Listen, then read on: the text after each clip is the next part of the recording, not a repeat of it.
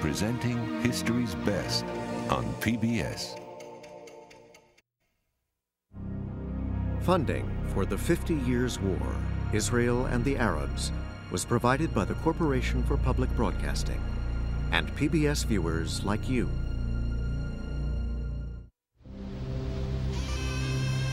Palestine, a land divided. A holy place, a battleground, a homeland claimed by both Arabs and Jews.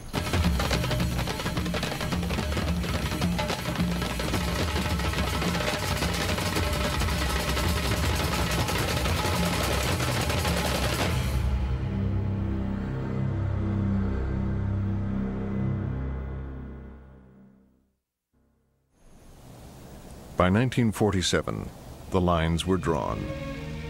To the Jews, Palestine is their traditional and spiritual home, the promised land. But the majority of the inhabitants of Palestine are Arabs. They too regard Palestine as their rightful home. But with the end of the war, into Palestine ports came ship after ship crammed with illegal immigrants, refugees from recent persecution in Germany, Austria, Poland, Belsen, and Dachau. The Arabs, fearful of becoming a minority, persuaded the British to limit Jewish immigration. Jewish extremists attacked British troops, wrecked government buildings, blew up trains and ships. And so Palestine remains, a place of martial law, where all go their ways only under watch, where the innocent must suffer with the guilty. Great Britain had ruled Palestine for three decades. After years of strenuous but unavailing effort, His Majesty's government have reached the conclusion that they are not able to bring about a settlement in Palestine based upon the consent of both Arabs and Jews, and that the mandate is no longer workable. A York transport landing at Lydda Airport brings delegates to the United Nations Special Committee on Palestine. The UN committee considered the partition of Palestine into a Jewish and an Arab state. On the shoulders of these delegates rests a heavy responsibility. But the Arabs did not want to talk to the committee. They wanted nothing to do with the Jews.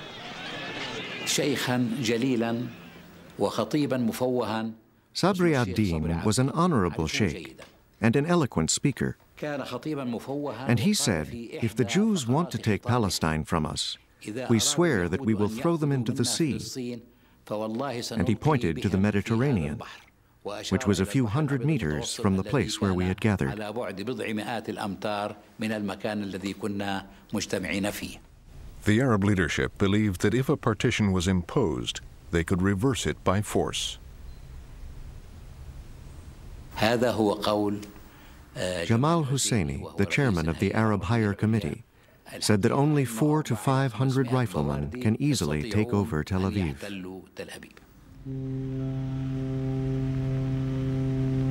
While the committee was still in Palestine, a ship called Exodus arrived in Haifa, loaded with Jewish Holocaust survivors. But now she had on board some 5,000 Jews who'd hoped to enter Palestine illegally. When she was boarded at sea by the Navy, a fierce battle was fought on her decks, resulting in many casualties on both sides. The UN committee saw firsthand the immigrants' despair when they were forced to return to Europe.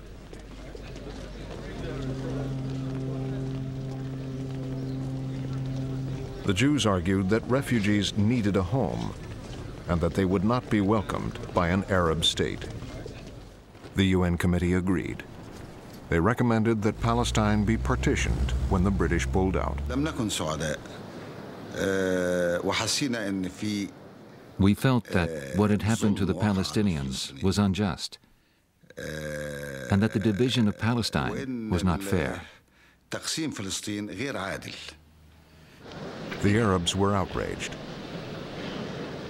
We had a man called Mustafa Mu'min who managed to penetrate literally into the circle of the Security Council to read a letter written in the blood of some, several thousand Egyptian Muslim brothers denouncing Israel and, uh, and the support of Israel and so on.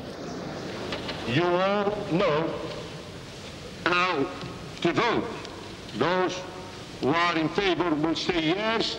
Those who are against will say no. No one relied on the calculations made by the President of the Assembly. Each person held his own pencil and piece of paper and calculated whether or not there was two-thirds for the partition or not. The United Kingdom, abstain. the United States, yes. Uruguay, yes. Venezuela, and towards the end, during the last countries, USA, Venezuela, etc., we found there was two-thirds. We jumped from our places with joy. We wept, we hugged, we kissed. The resolution of the Ad Hoc Committee for Palestine was adopted by 33 votes, 13 against, 10 abstentions. I was glad. I was very glad. Because for me, it was important that the UN, according to the Decree of Nations, was giving, granting the Jews, I'd say the Zionists, an independent country on the land of Israel. And I thought in my heart, history is turning a huge page. بقرار التقسيم The news was broadcast at 8 p.m. The Palestinian people listened to it everywhere, and there was this feeling of frustration and sadness, a feeling of catastrophe which was about to befall Palestine. الشعور بالنكبة التي كانت ستحل بفلسطين. Riots and demonstrations started everywhere. حوادث الاضطرابات والمظاهرات في مختلف مناطق فلسطين. The Arabs attacked Jews and the Jews hit back. Cities and neighborhoods were divided along religious lines. In Jerusalem, an Arab car bomb destroyed the Jewish agency offices. Seven were killed, more than a hundred wounded. The Fifty Years' War was underway. Palestinian forces from towns and villages along the road to Jerusalem were commanded by Abdul Qadir el Husseini. They blocked supplies going from Jewish held Tel Aviv to a besieged Jerusalem.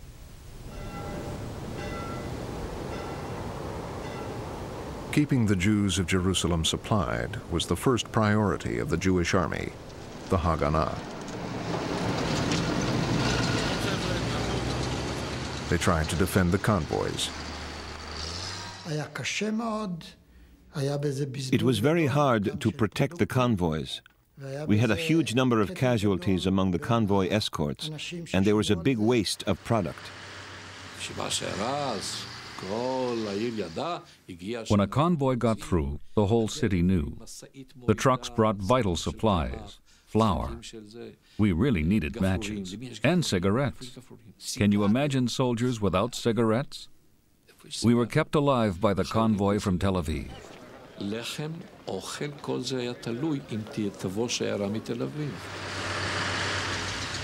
We started with uh, military operations to make sure that the road between Tel Aviv and Jerusalem will not be endangered by the big villages or towns that were along the road, uh, where from came all the attackers on the convoys. A special Haganah brigade was formed to open the road to Jerusalem. The system was to attack the village, to give warning to the civilians, to destroy the village. And by the elimination of the villages alone and adjacent to the road, we were sure that there would be no attacks. The Jews tried to seize Kastel, a village controlling the road to Jerusalem. It was a Palmach unit, my troops, that captured the Castel. And it was here that Abdel Qadir el Husseini, the Palestinian leader, was killed. Enraged, Husseini's soldiers went to recover the body of their leader. The Arabs counterattacked. Our reinforcements were wiped out. It was a very black day. Down the road from Castel, there would be another battle that day. Two Jewish extremist organizations, Irgun and Lehi, which had fought the British, were eager to prove themselves in the new war. It was such a tragedy. Deir Yassin was a lovely village. The events at Deir Yassin would haunt relations between Jews and Arabs for years to come. Deir Yassin had stayed out of the fighting. It was not on the Haganah's list of hostile villages.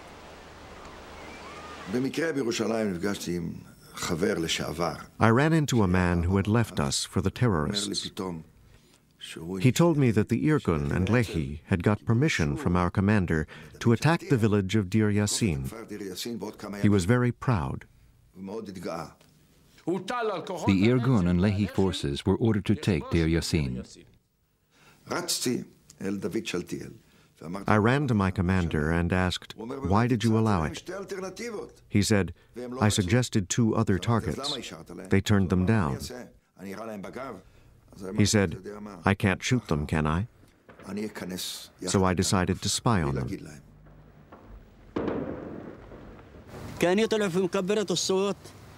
Their loudspeakers blared out, Lay down your arms. Run for your lives. Then I heard our machine gun. I was kneeling down like this. When I looked up, I saw the village ablaze. Their attack lit up the whole village.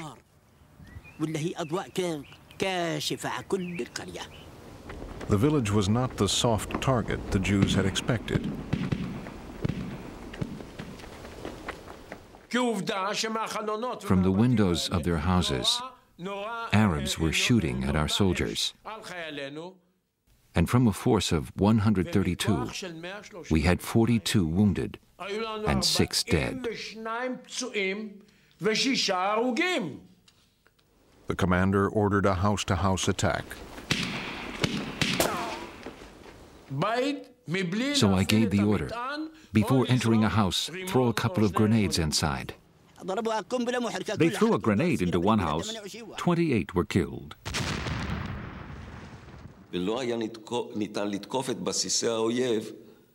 It was impossible to attack the enemy without hurting their families. It was difficult. It was painful, and I'm sorry we had to do it. But we had no choice.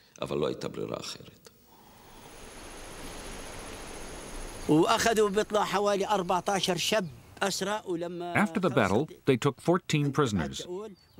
They lined them up by the quarry and mowed them down. They threw their bodies in the quarry. That's what happened.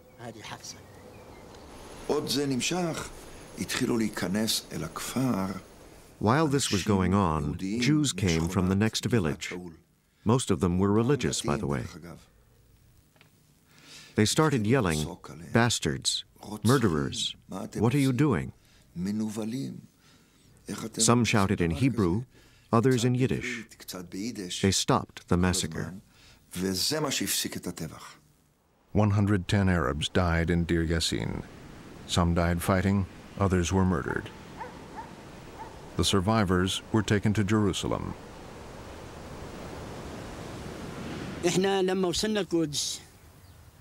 We gathered in Jerusalem at the Hebron gate. We checked who was missing and who had survived. Then the Palestinian leaders arrived, including Dr. Khalidi.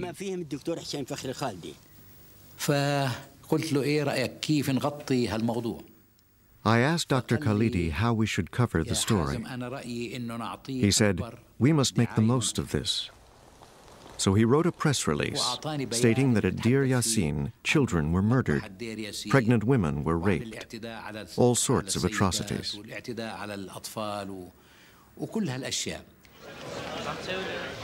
Arab radio stations passed on the false reports. ignoring the protests of the witnesses.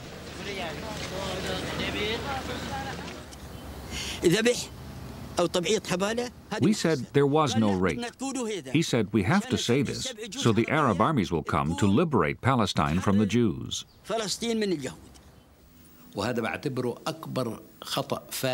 This was our biggest mistake. We did not realize how our people would react. As soon as they heard that women had been raped at Deir Yassin, Palestinians fled in terror.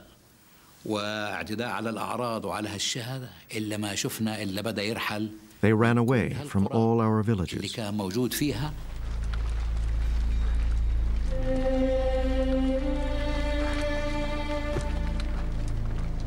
In the next few months, over half the Arab population, three quarters of a million people, fled their homes in Palestine. Israel never allowed them back. The British did little to prevent the atrocities committed by both sides. As they prepared to leave, they washed their hands of the whole mess. At the United Nations, the Jews announced their plans. Not later than May 16th next, a provisional Jewish government will commence to function in cooperation with the representatives of the United Nations then in Palestine. The Jewish leadership sought political support abroad. America the U.S. State Department argued against it. Their first response was no country, no state.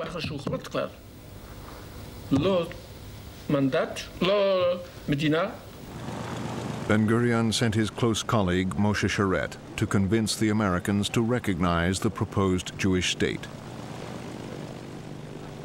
Sharett tried to persuade Secretary of State George Marshall, who was totally opposed to the idea. Sharett explained that we have no other way than to proceed. This is a historic juncture. If we miss that, we may create a tragedy for future generations. But President Truman surprised everyone with his strong support.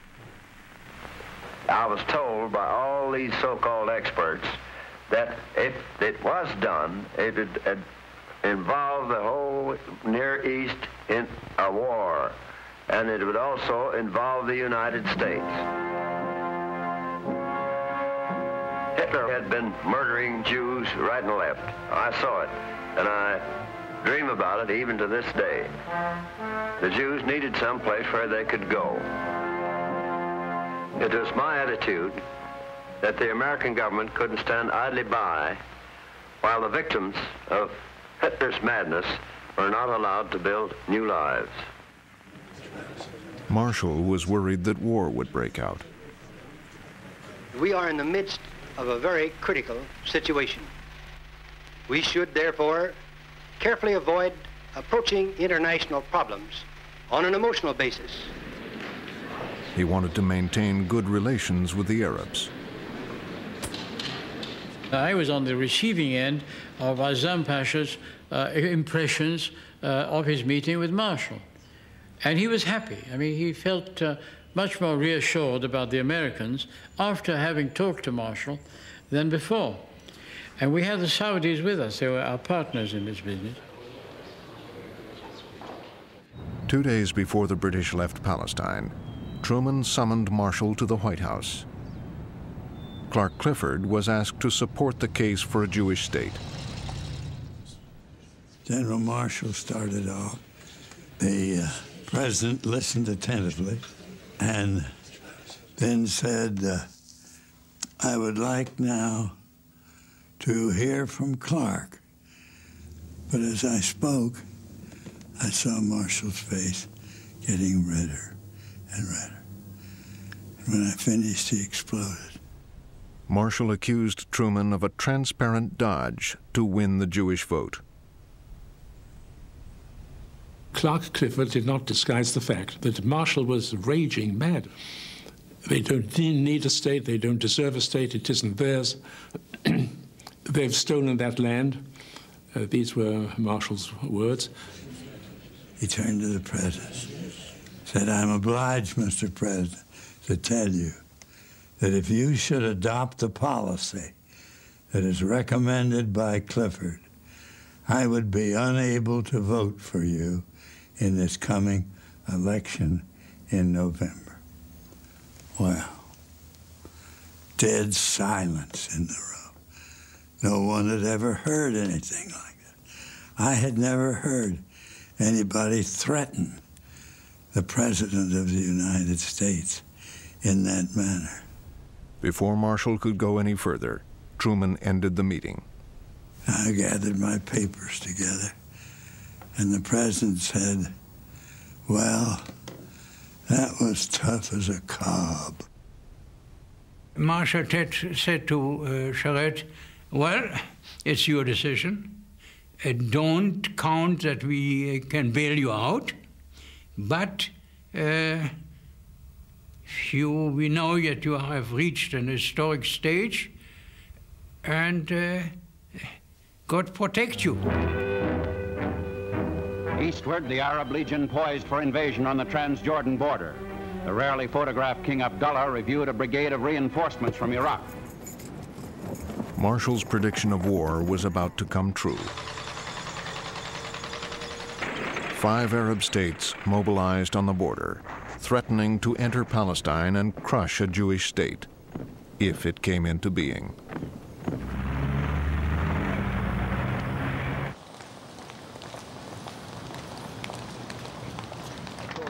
For the Jews of Palestine, this was a critical moment.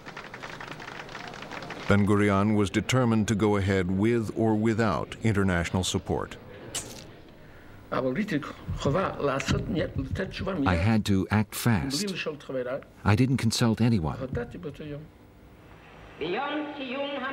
Today, the British mandate over the land of Israel ends. We declare a Jewish state in the ancient land of Israel. It will be called the State of Israel.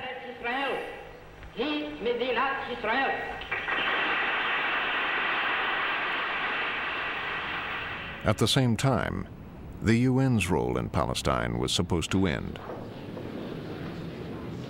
When the hands pointed to six o'clock, the Iraqi delegate got up and said, Mr. President, there is a very important matter to consider before we proceed.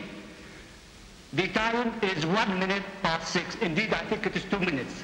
The United States delegate, when he came to this rostrum, declared that if by six o'clock we cannot arrive into at any conclusion, the whole game is up, and I hold that to you, Mr. President, to give us your ruling. The time is past six now. That was about the only occasion when the Iraqi delegate and I have ever agreed on anything. Uh, he was uh, full of exuberance because he thought the game is up and now the road is open for the Arab invasion.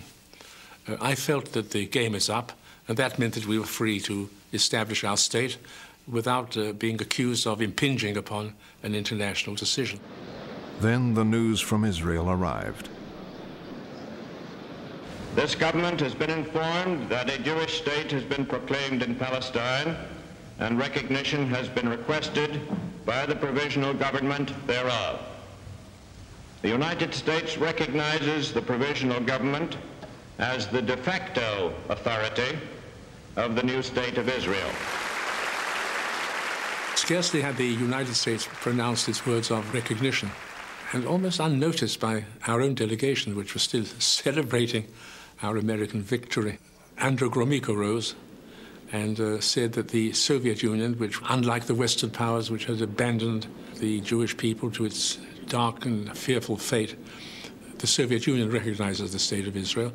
And therefore, I would say that the issue of Israel's recognition was uh, solved almost miraculously within a few hours of our independence declaration. After 2,000 years of exile, the Jewish people had a state of their own.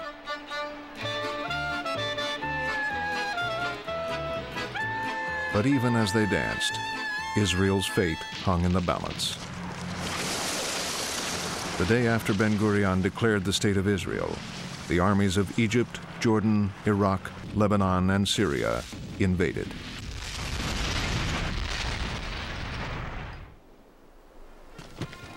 But the largest Arab army, that of Egypt, had only been tested on the parade ground. At its head was the playboy King Farouk. The king uh, hadn't had any experience of war. Nobody, in fact, had any experience of war, including the commander-in-chief of the Egyptian army, you see. At the time, a euphoria reigned in the Arab ranks. The boys were very pleased with the war. They thought it was a good idea.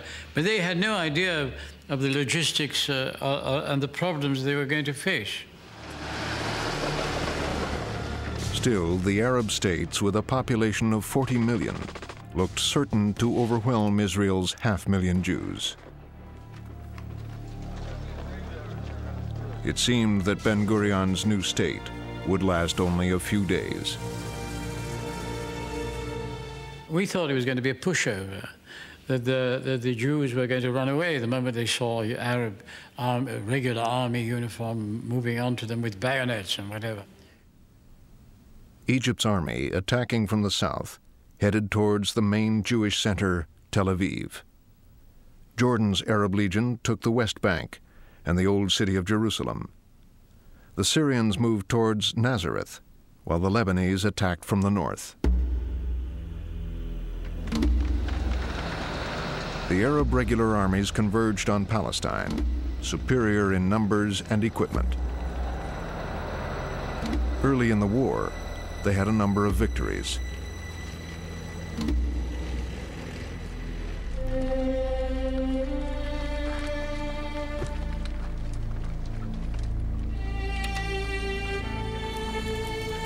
Whenever they overran Israeli villages, the inhabitants were either expelled or killed.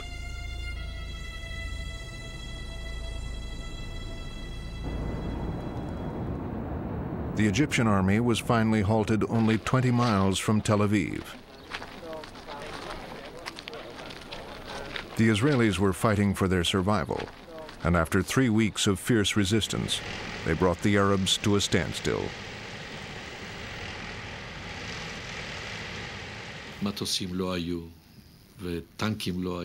We had no aircraft. We had no tanks. And we were going into war this way. We hardly even had guns. We would try to buy guns as much as we could, anywhere we could. In this situation, we were really saved by Czechoslovakia, that is, Russia. America didn't give us arms.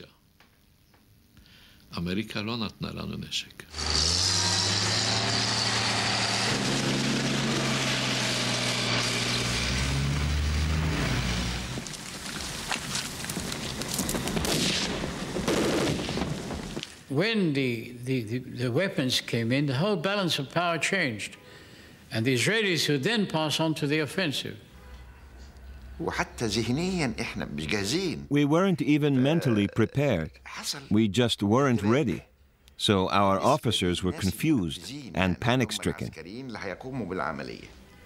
And so the Egyptian army was, was surrounded, and then uh, the Jordanian army just kept neutral, didn't interfere in any way.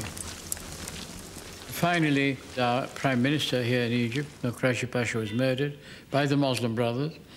And uh, his successor said, there's no future in this war, let's make peace.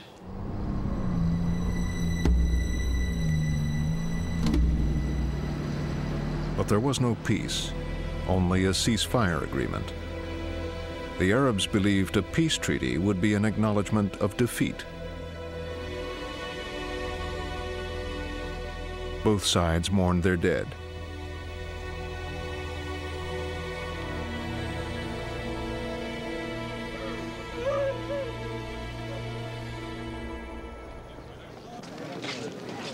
Even before the ceasefire agreements were signed, Israel held its first democratic election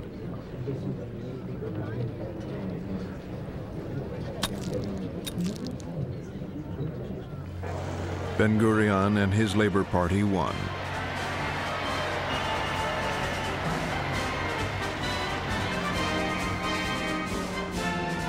Israel celebrated the triumph of its armed forces. But the Arabs refused to recognize Israel's right to exist. For the Arabs, the legacy of the 48 War was the displacement of the Palestinian people. The Palestinians now faced political extinction. The West Bank was annexed by Jordan, and Gaza was ruled by Egypt, which left them with nothing. Egypt, the most powerful Arab country, was shaken by the defeat.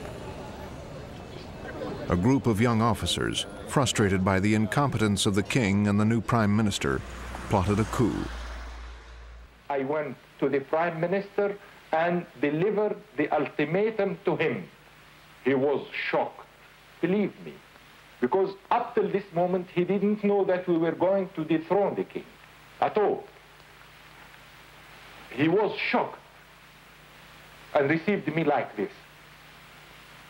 I told him yes. He said, are you, are, you, are you powerful enough? I told him, yes. Go and deliver it to the king.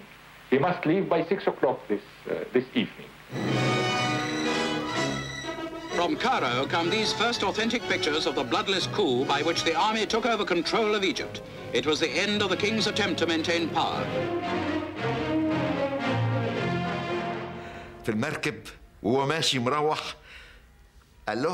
As we took the king to the ship, he said, You ate me for lunch before I could eat you for dinner.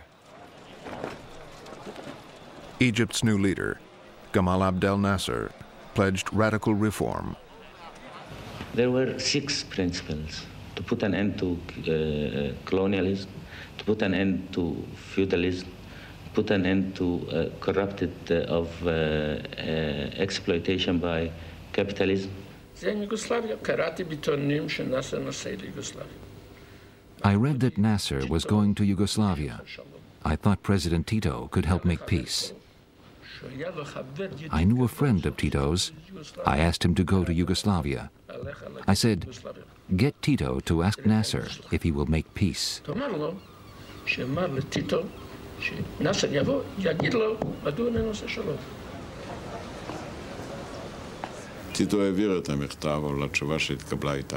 Tito passed on the message.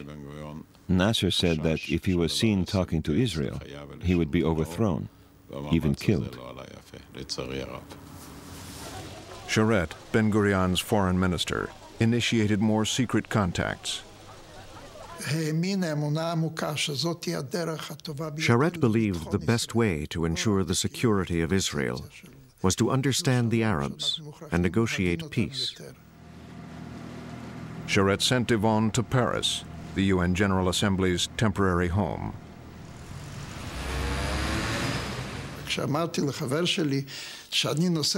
I told a friend I was ordered to Paris to meet Arabs, and he said, Zima, I know you like Cervantes, but I never saw you as Don Quixote. Will you go to the Place de la Concorde and shout, Any Arabs here?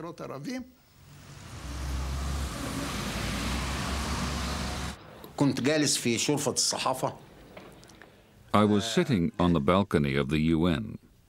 A young man came in and sat next to me. We began to talk. I said to him, My dear sir, I am a Jew. I looked in his face. I saw no sign of embarrassment. So I asked him, Who do you represent? When I pressed him, he said, Sharett.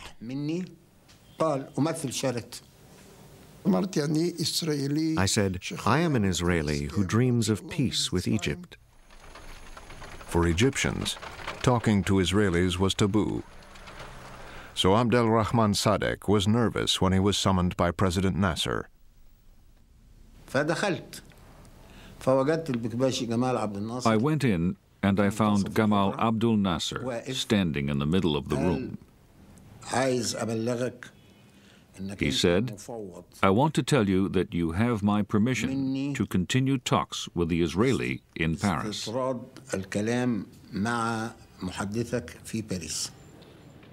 The diplomat's reports were to be for Nasser's ears only.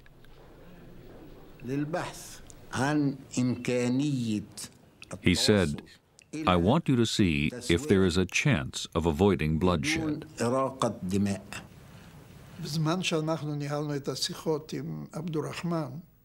While we conducted the talks with Abdel Rahman, there was, once in a while, a radical escalation of Egyptian statements about Israel. An Egyptian leader even said that Israel was the cancer in the midst of the Arab world, and we asked them to refrain from such inflammatory language. Nasser's envoy returned to Paris with promises to tone down the anti-Israeli propaganda on Cairo radio and to restrain the guerrilla raids against Israel. But Nasser would not terminate the war, nor would he establish diplomatic relations or allow Israeli ships through the Suez Canal and the Straits of Tiran. Sharett was disappointed. Sharett's message said that we were sorry, of course, that the Egyptian government would not change its official policy, which was a clear anti-Israeli policy. Sharett's repeated offers to start peace negotiations were turned down. I had realized that the Israelis continuously say that they want peace. I realized also that the Arabs refused to talk. Israel desperately needed peace. Jewish refugees from Europe and Arab countries were streaming in.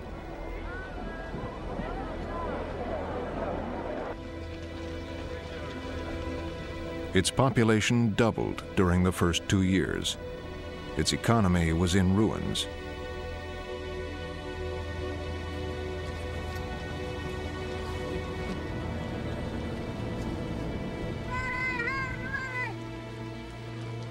New immigrants were often settled along Israel's frontiers.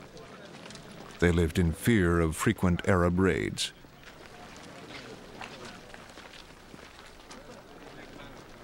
Ben Gurion blamed Nasser for the raids. He ordered the Israeli army to retaliate by striking Arab countries harboring infiltrators.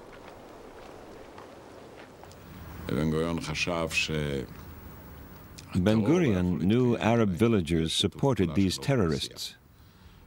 We had to show them that helping terrorists was dangerous, to protect our settlements.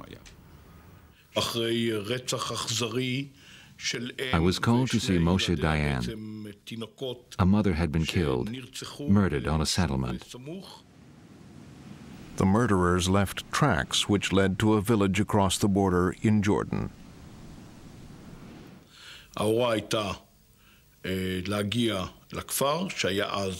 My orders were to reach the village in Jordan. We had to blow up as many buildings as possible and cause as many Arab casualties as possible. The tiny village of Kibya on the Israel-Jordan border is in ruins as day survivors relate how troops struck across the frontier at night.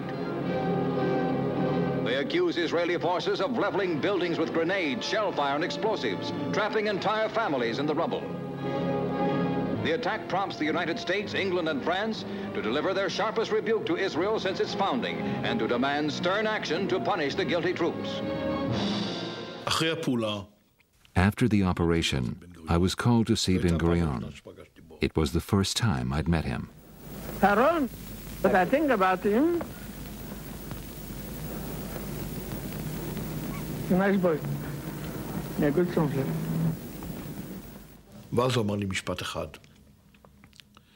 He said one thing to me. He said, it doesn't matter what the world says. It doesn't matter what they say about Israel anywhere else. The only thing that matters is that we can exist here. Unless it's clear that there is a price to pay for Jewish lives, we will not be able to survive. And that's what counts. Ben Gurion was such a believer in the importance of agricultural settlements that he abandoned the prime ministership and joined a kibbutz in the desert. He was succeeded by Moshe Sharett, who hoped he could advance Israeli security through diplomacy. But his Minister of Defense, Pinchas Lavon, believed in military solutions. In July 1954, the British announced they were quitting their huge military base on the Suez Canal.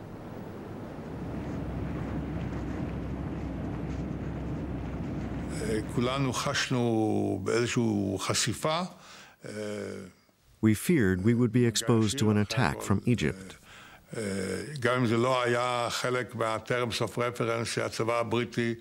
The fact that the British Army was there served as a buffer. It reduced the chance of an Egyptian attack. On his own, Lavon ordered plans for destabilizing Egypt and frightening the British into remaining. Lavon summoned the director of military intelligence to his home in Tel Aviv.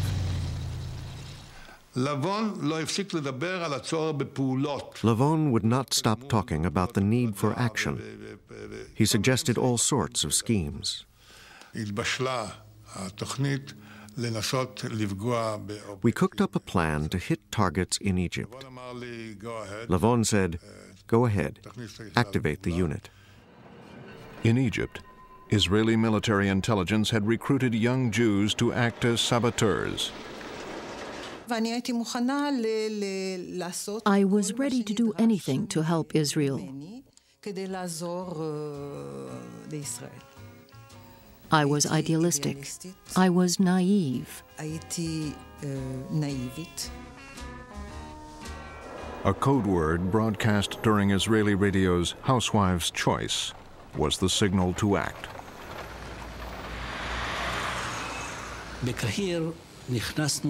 In Cairo, I went to one cinema, my friend went to another. I put the bomb under an empty seat. No one was killed and the saboteurs were all caught. The news was splashed across Egyptian newspapers. So I went to Sharett and said, look, uh, this is the communique from Cairo. What do you know about it? He said, no, no, no, no, no. This is not authentic. It can't be, because how can such a thing happen? I, the Prime Minister, doesn't know about it. After he learned of Lavon's role, Sharett's first priority was to save the lives of the young Jews.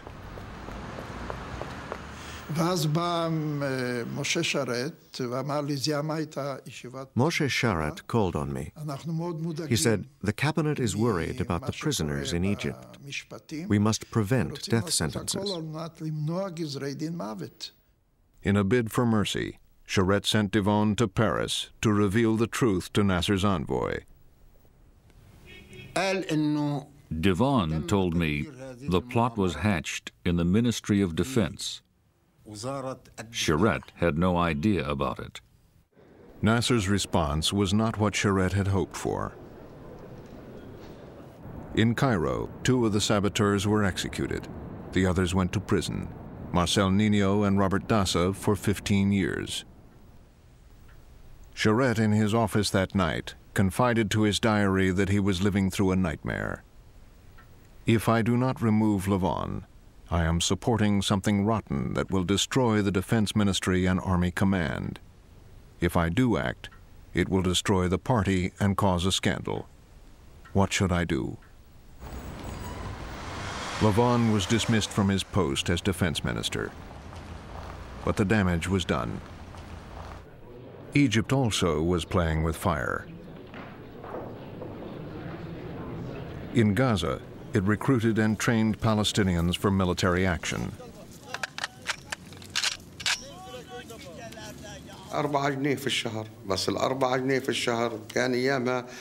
They paid four pounds a month. In those days, it was a lot of money, so it was good. They were sent to Israel to gather intelligence and commit sabotage.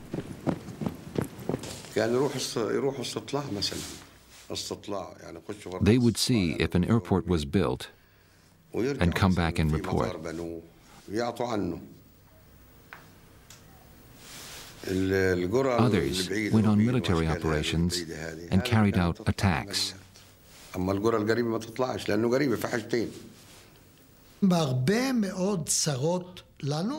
These infiltrators, the Fedayeen, were a tremendous security problem, not only for the settlers on the borders, but also in the center of the country. They were attacking places five kilometers from Tel Aviv.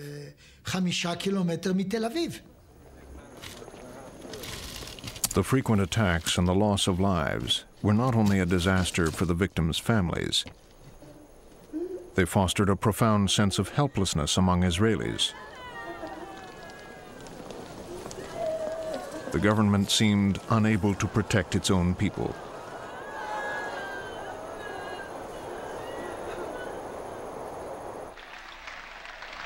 Only one man could satisfy the public's demand for action.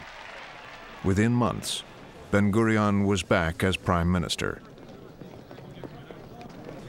By mid-1955, Nasser turned to the Soviet bloc for economic and military assistance. The conflict now became part of the Cold War, and Egypt received a huge arms shipment from Czechoslovakia. New tanks, artillery, bombers, and jet fighters threatened to render the Israeli army and its propeller air force obsolete. General Moshe Dayan wanted to strike at the Egyptian army before it could absorb its new weapons. But Ben Gurion felt Israel could not fight alone. Ben Gurion became more and more convinced that uh, there is no diplomatic solution for the conflict, and because of the accumulation of arms in uh, Egypt, um, we have to forestall war triggered by Egypt. A few weeks later, President Nasser nationalized the Suez Canal. Unexpectedly, Ben Gurion found himself with two new allies. Britain and France had jointly owned the canal and wanted it back.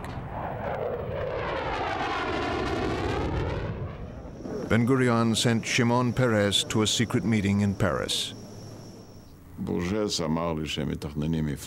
The French defense minister told me Britain and France were planning an operation to take the Suez Canal back from Nasser. And he asked me, would Israel join them?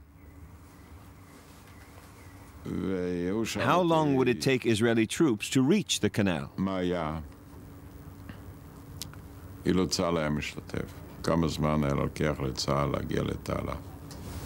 Gurion waited anxiously for the return of his emissary. Ben Gurion asked me, well, what did the French say? So I began to tell him about their plan. He interrupted and said, okay, this changes everything. We'll go with them. Israel invaded Egypt secretly supported by Britain and France.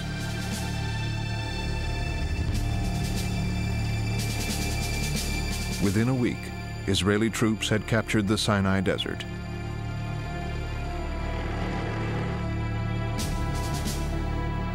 Britain and France tried to retake the Suez Canal until international pressure forced them to withdraw.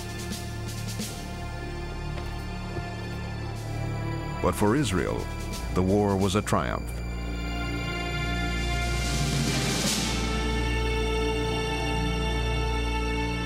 We achieved our main purpose. The main purpose was free navigation in the Straits of Eilat, which is rather vital. And this we have until now. The second objective was to secure safety for our settlements near the Gaza Strip. I cannot say we got it entirely, but there are more safe than there were before the Israeli forces withdrew from Sinai, and the positions along the Israeli border and the Straits of Tiran were guarded by United Nations forces. For 10 years, there was peace along the Israeli-Egyptian border under the UN flag.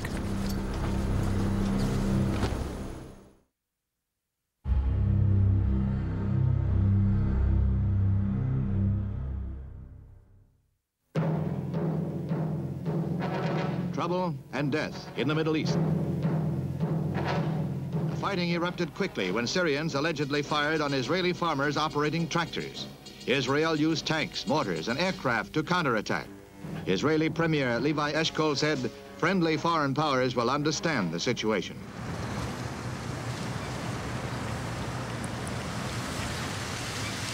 In May 1967, the leaders of the Soviet Union took a step that would change the map of the Middle East. The losers would be their own allies. It all began with a false report from Soviet intelligence. Anwar Sadat, Speaker of the Egyptian Parliament, was in Moscow for talks with Soviet Prime Minister Kosygin. It was a routine trip. Egypt was now firmly in the Soviet camp. Sadat was seen to his plane by the deputy foreign minister. The minister took Sadat aside. He said Israeli troops were massing against Syria. He asked him to report this at once to Nasser. Egypt's president, Gamal Abdel Nasser, was the hero of the Arab world. If Israel was massing troops on the Syrian border, Nasser would be expected to act. He sent for his chief of staff and instructed him to find out what the Israelis were up to.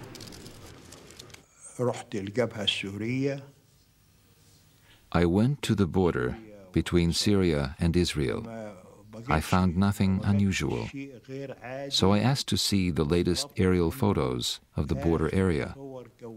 They showed me photos from the previous day and the day before that. I studied them, but I still found nothing. بحثت في الصورتين فلم أجد شيء The chief of staff found nothing to back up the Soviet report. But then the Soviet ambassador came back to us. He said Soviet intelligence had reconfirmed their report.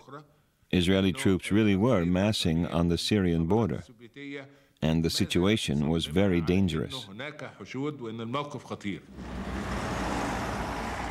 Soviet diplomats spread the alarm throughout the region, even in Israel, as the prime minister and his wife soon found out. It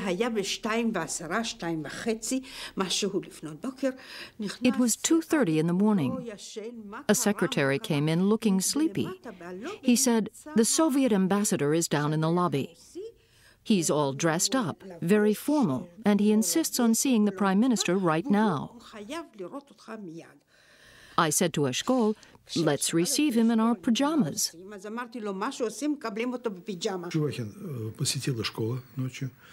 Our ambassador gave Eshkol a telegram from Kosygin. Eshkol offered to go to Moscow to discuss the regional situation.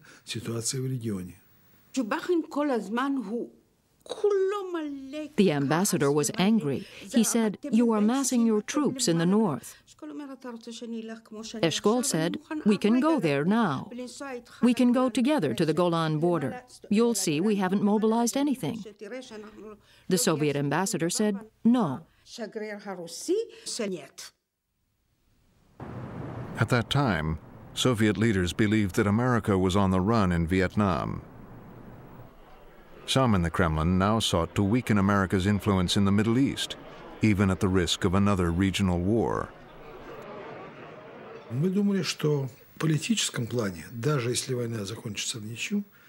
We believed a war could bring us political gains. Even a stalemate could bring us benefits. Egypt had our backing, both political and military. We thought their forces would demonstrate the benefits of Soviet support. So we were confident that the balance of power in the Middle East would be altered by a localized war.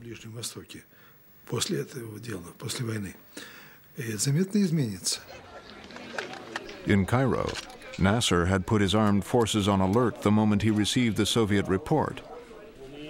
If Moscow's plan was to provoke a war, it seemed to be working.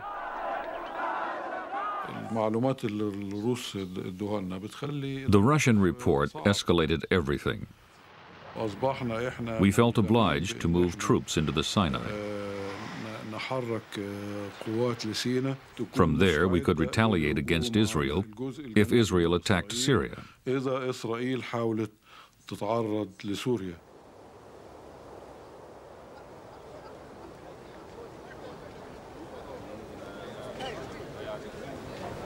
Abdel Nasser Abdul Nasser did not want a war with Israel. Abdel Nasser was thinking of his image in the Arab world. So he put on a show of strength using the armed forces. Marshal Amer wanted to attack Israel right away.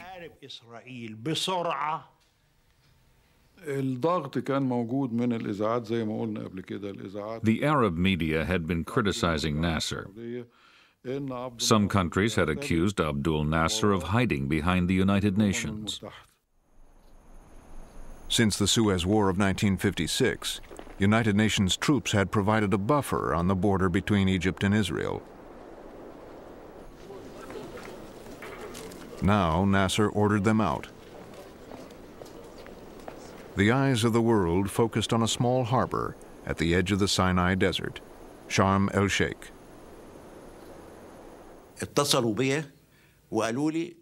Headquarters wanted to expel the UN troops from Sharm el-Sheikh.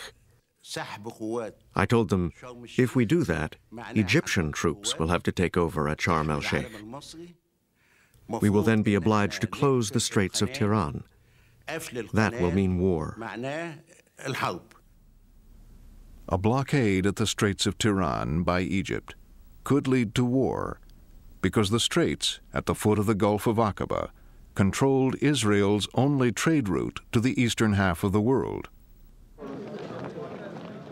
Nasser, in the name of Arab solidarity, was going on the offensive.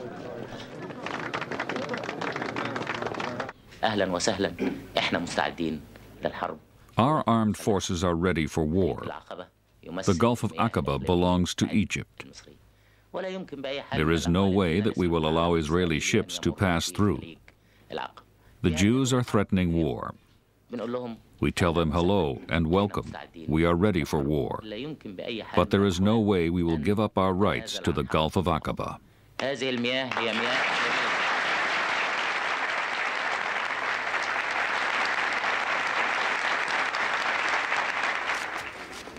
In Israel, the people prepared to defend themselves. Their prime minister, Levi Eshkol, summoned his cabinet and military commanders.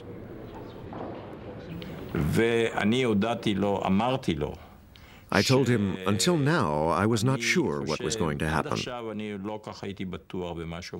But after the Egyptians closed the straits, I'm sure the situation will develop into a war. The straits are a casus belli for us. And I told him firmly that this will be their end. This will be their grave. We commanders told him, we have no choice. We have to mobilize. We have to launch an attack within 72 hours. If we give the Egyptians more time, they will pack the Sinai with more and more divisions. The generals saw Israel becoming increasingly vulnerable. The chief of staff, General Rabin, was very worried. He smoked a great number of cigarettes and he ate nearly all the, the nuts and raisins in the little basket there. And um, he was very worried because, not because he doubted the result of the war, but because uh, we were really very unprepared for war. Rabin asked Abba Eban for a diplomatic solution. Rabin had said we were really not prepared for war. And um, second, there should still be some attempt to avoid it by exercising warnings and pressures upon the Egyptians. And uh, then uh, Mr. Eshkol sent me a note saying, What are you doing here? Prime Minister Eshkol dispatched Abba Eban to seek the help of Israel's key allies. He wanted an international fleet to keep the straits open to prevent war. I've been asked by my government to uh, explore uh, what these governments intend to do in order to reopen this international waterway to what a situation of law. What do you want the United States to do, sir? Well, uh, I've come here really to find out what the United States intends to do. President Johnson made it clear that he didn't want Israel to attack first. The president had said to Dean Rusk and me, and I'm going to speak rather crudely, get Eban in here into the family quarters of the White House so we can work him over. Because we had heard that uh, the Israelis were about to preempt, they were about to attack the Egyptians. Eban talked at great length and eloquently. He always spoke eloquently and he always spoke at great length. But what he had to say was very simple. This was a mortal crisis for Israel, and he wanted to know what the United States was prepared to do. The president, he simply expressed skepticism about the idea that Israel was in danger. He said, You are not in danger. You are in a very difficult situation, but you are not in peril. He said to Eban, We do not believe that Egypt is about to attack Israel. Moreover, if it does, you'll lick them. To make the point, President Johnson asked for the Defense Department's assessment of the likely outcome of a Middle East war we had concluded that if Israel preempted, they could win clearly in a period of about uh, seven days, as I remember. We had also estimated that if they did not preempt and Egypt attacked first, that uh, it would take somewhat longer, perhaps uh, 10 to 14 days. Then the president took out a piece of paper and started reading from it as though this was some kind of a sacred text. And uh, what this document said was Israel will not be alone unless it decides to be alone. If you go alone, you'll stand alone. That was a very cold blooded statement. We will not come to your defense if you preempt. We cannot come to your defense if you preempt. As Israel received its warning in the White House, an Egyptian delegation was heading towards the Kremlin we didn't even see Moscow. We were driven in cars with the curtains drawn, straight into the Kremlin. The Egyptians were self-assured. Shams Badran eh, exuded confidence. He said that if war came, the Egyptian military could handle it. In fact, he described the army like a wild horse raring to go.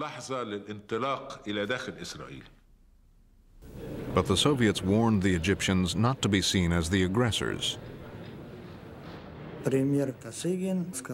Prime Minister Kosygin said, Tell Nasser, if he strikes first, he will escalate the conflict. He will provoke the superpowers. America will not stand aside. I said, We understand, but closing the straits isn't an attack on America. The Soviets made it clear they meant what they said. We asked about the arms contracts we had with them. We asked if they would hurry things up especially some spare parts we needed for our planes. We could have taken them with us in a bag. They were always asking for arms. Every high level delegation would ask for arms, including Badran. They did not refuse to supply the arms, they just claimed they had none. I was really shocked. I thought, how can our Soviet friends treat us like this? War was at our doorstep. Nasser got the message. The Soviets would back him only if he did not appear to be the aggressor. His commanders were instructed to stay on the defensive ready to absorb an Israeli attack.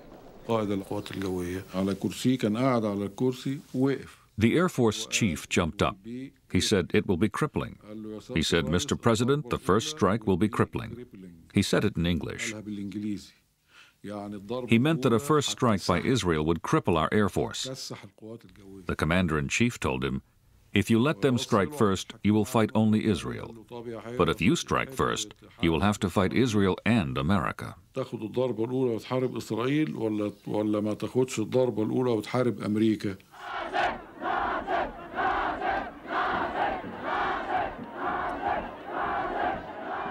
But the war fever in Cairo had become unstoppable.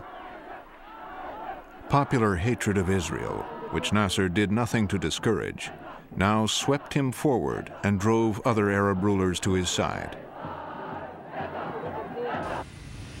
Even King Hussein of Jordan, for years at odds with Nasser, decided he could no longer stand aloof.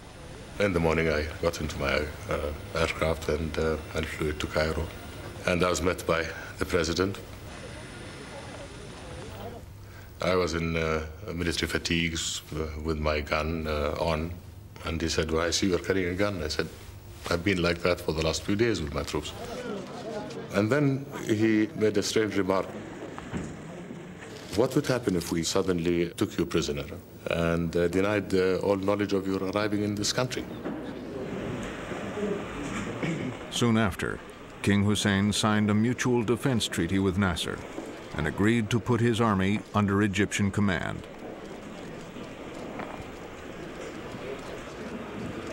We were on the verge of a, uh, uh, of a war. Therefore, any reservations I had uh, in the past to any troops coming into Jordan were removed as far as I'm concerned. So Israel faced the prospect of war on three fronts from Jordan in the east, from Syria in the north, and from Egypt in the south. That was the time when Auschwitz came up.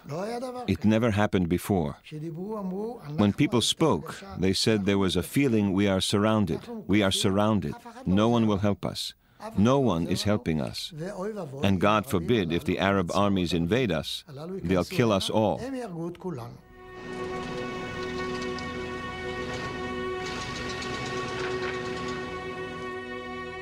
By this point, Israel had been mobilized for more than two weeks.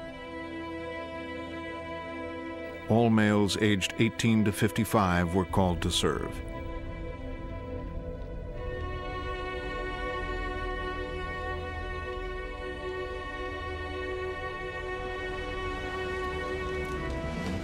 Most vehicles were requisitioned. Most factories closed. Israel could not stay fully mobilized for long. But still, Prime Minister Eshkol waited for the international community to do something. He came to military headquarters to remind his generals of America's warning. Israel must not go it alone. He told us that they were making diplomatic efforts in the US and Europe. They were trying to reach a deal with Nasser. It made no sense to us. Flanked by Rabin, Eshkol found himself surrounded by generals insisting on a preemptive strike. General Peled was usually pretty quiet. Now he was shouting. He was actually shrieking. Why do you hesitate? Why are you afraid?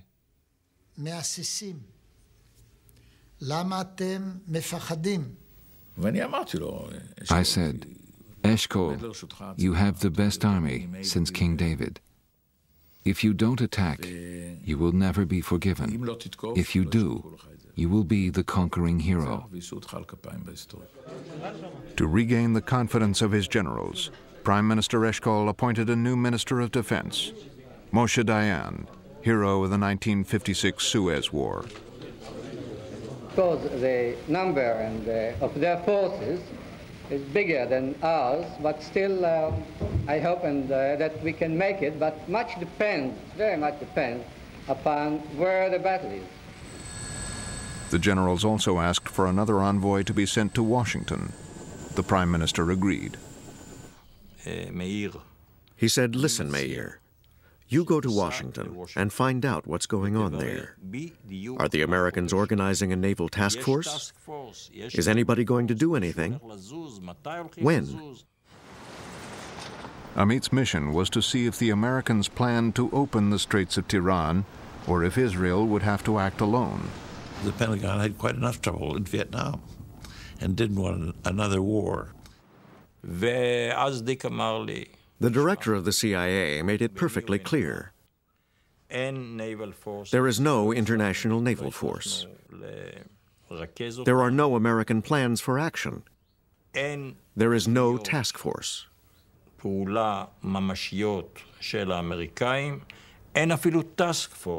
So the head of the Mossad, Israel's intelligence agency, called on the Secretary of Defense. I said to him, You know our situation. I am here on the instruction of my prime minister. He was doing most of the talking. I did uh, ask one or two questions. At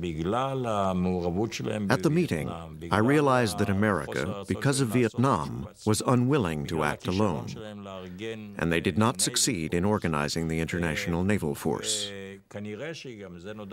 Also, Eisenhower made a commitment to Israel about the Straits in 1956, so America would no longer oppose Israel acting on its own. I was friendly in during my discussion and friendly uh, as he left, but uh, he didn't ask for answers. He got no answers. Amit raced back to Israel to report to the Prime Minister and the Cabinet not to expect international help. I gave a detailed account of my trip to Washington, and I said, I recommend we launch the war as soon as possible. Not one of the ministers disagreed.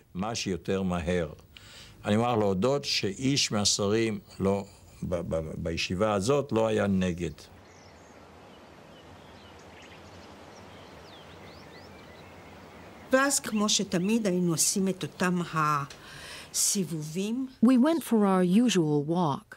פתאום אשכול Suddenly, Eshkol starts humming. He was completely tone deaf.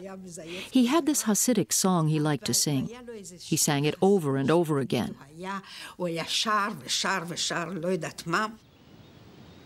The rabbi has told us to enjoy ourselves because hard times are coming.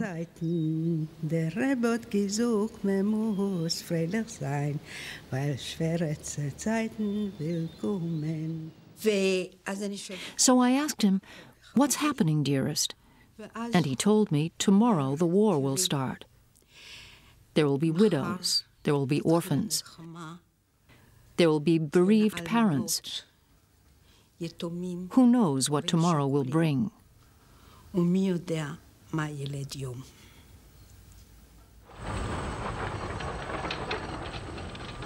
The generals chose the morning of June 5th for the attack.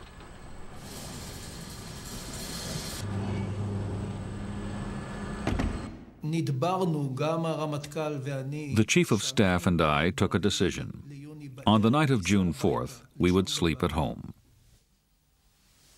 The tom-toms in Israel work like in the jungle. If the Chief of Staff and Air Force Chief both come home, word gets round that tomorrow is going to be quiet. That was the commander's bedtime message.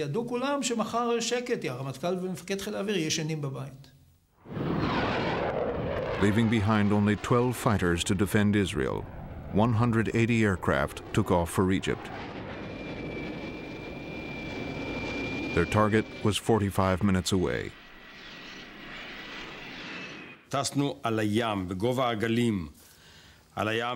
We observed total radio silence. We flew at the height of the waves for about 15 minutes. We flew low over the sand dunes. We crossed the Suez Canal at Kantara and entered the delta. As we flew over the delta, farmers waved to us. They probably thought we were Egyptian. Most of the Israeli squadrons flew out to sea far to the west. They had extra fuel tanks to enable them to approach Egypt's air bases from an unexpected direction. That was the longest 45 minutes in my life. The hands on my watch didn't seem to move. They went very slowly. As the Israeli bombers approached their targets, the Egyptians received a coded message from Jordan. They spotted Israeli planes heading towards us. So they sent us a signal from their radar base to warn us. The signal was in code. Our codes had changed the day before, and we had real trouble decoding it. The Ministry of Defense asked the air defense people what they had done with the signal they had received. It had the code word grape. They replied, What signal? Eh? At exactly 0745, we pulled up to 6,000 feet. I looked down and saw the MiGs glinting on the edges of the runway. The pilots were sitting inside the cockpits. I knew we had caught them by surprise.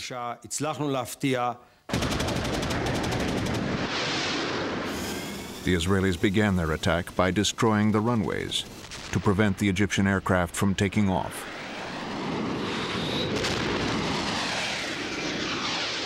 The few that did get off the ground were no match for the Israeli fighters.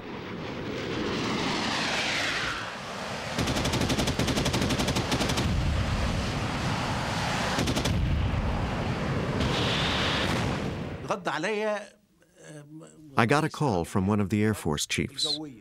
He said, Nofel, Nofel. I said, Yes, sir. He said, Our airfields are being attacked. I said, What the hell are you talking about? He said, Our airfields are being attacked. I said, Our airfields? He said, The airfields in the Sinai are being attacked. I said, All the Sinai airfields? Tell me it's not true. And he said, Believe me, all the airfields are being attacked. I hung up. The phone rang again. It was another commander. He said, We're being attacked. So I said to myself, Well, something must be going on. But I was all alone. He was alone because the head of the Egyptian armed forces, Marshal Amer, had left with the Minister of War and his top brass to inspect their positions in the Sinai.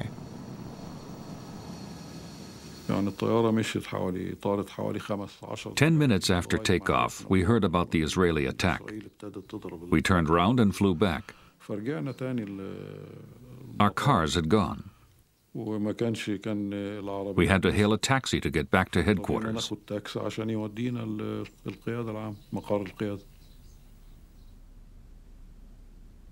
By the time Marshal Amer's taxi got him back to headquarters, Egypt's Air Force was destroyed.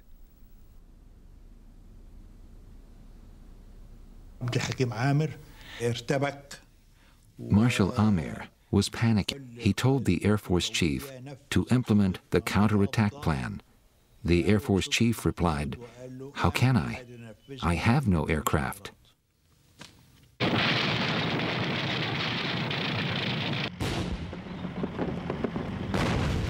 In the Sinai, Egypt had three times as many tanks as Israel, but with no air cover, their situation was dire.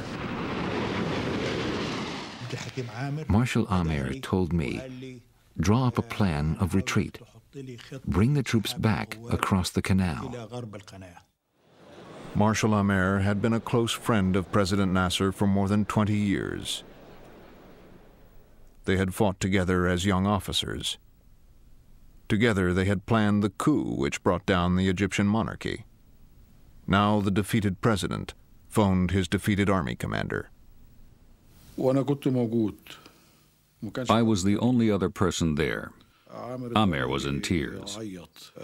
He was calling Nasser by his first name. He said, Let me bring our boys back safely, Gamal. When he put the phone down, I asked, Why are you crying? He told me Nasser had said, Forgive me, Hakim. I caused this catastrophe. Forgive me, Hakim. Abdul Nasser had been crying too. Marshal Amer didn't wait for his chief of staff to plan a retreat. He simply picked up the phone and gave the order himself.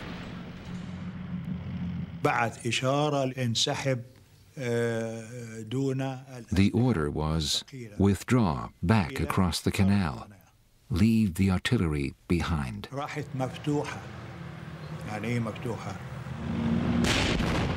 Marshal Amer's order was a disaster.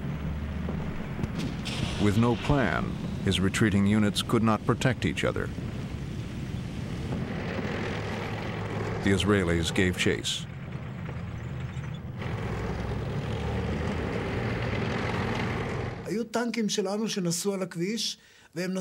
Our tanks had Egyptian tanks in front and behind them. We attacked them from the ground and from the air. Thousands were destroyed. They were all burning. It was a terrible sight. 338 Israelis were killed. But the Egyptian dead numbered 15,000.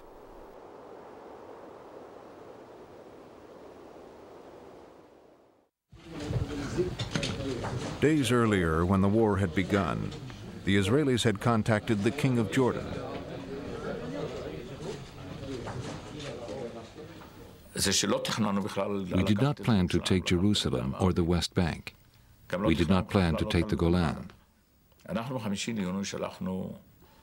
On the 5th, we sent a telegram through the Americans to King Hussein, telling him that the war was between us and the Egyptians. If Jordan stayed out, nothing would happen. But at about 10.30, he started shelling Jerusalem.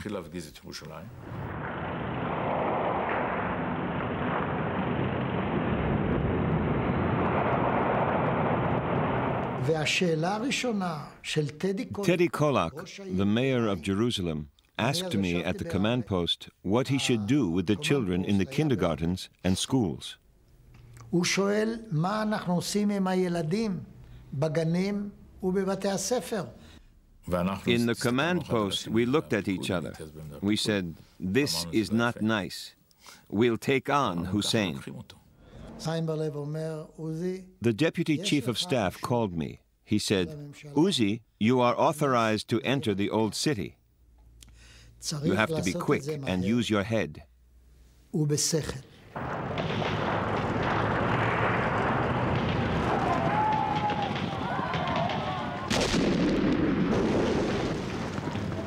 It took the Israelis 10 hours of bitter street fighting to defeat the Jordan Legion soldiers defending the old city.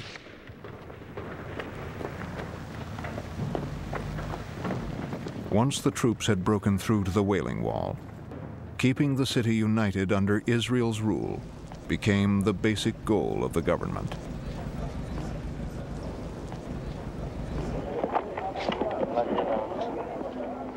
When the battle ended, Jordan had lost not only the old city, but all the land on the west bank of the Jordan River. I went out to the front and I could see people crossing over in uh, small groups, very tired. You know, all the years that I had spent since 1953 trying to build that country and build that army, all the pride, all the hopes, uh, I saw it just destroyed. I never received a more crushing blow than that.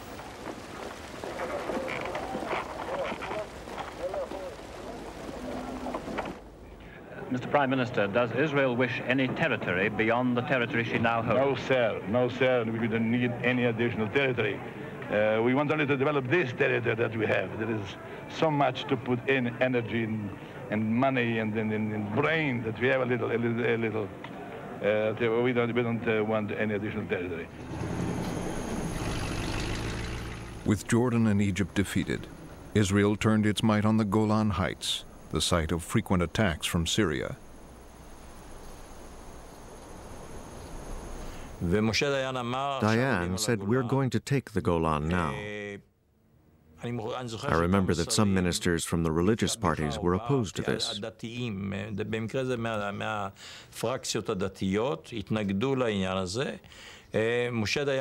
Dayan was adamant. He said, We're not going to lose time. I've delayed it this long because we wanted to finish with the Egyptians and Jordanians. We threw everything we had at the Golan Heights. In 12 hours, we dropped more bombs on the Golan than we had on all the Egyptian airfields.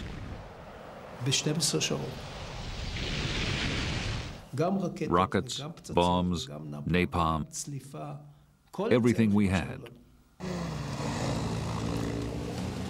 The whole war had been sparked by a false Soviet report of a threat to Syria.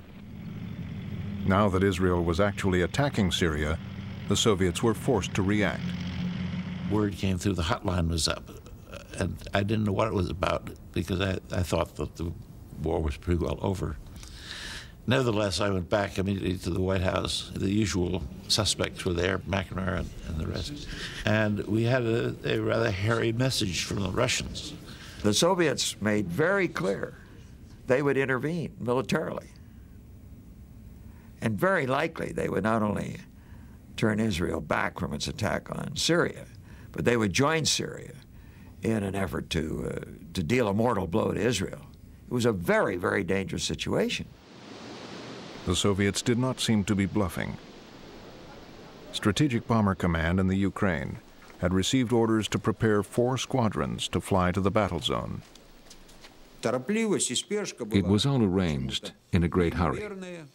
We were given strict instructions not to suffer any casualties. The loss of even one Soviet aircraft would betray our involvement. вот суть и смысл и содержание, так сказать, наших налетов нашей советской авиации. Но постольку вот... But we saw this was unrealistic. So we had to find another way.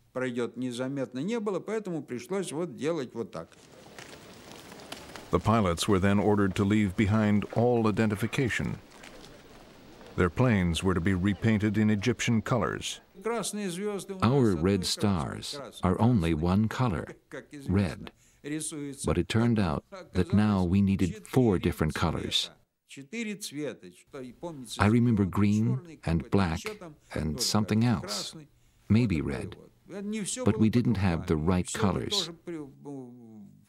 So that caused a lot of fuss.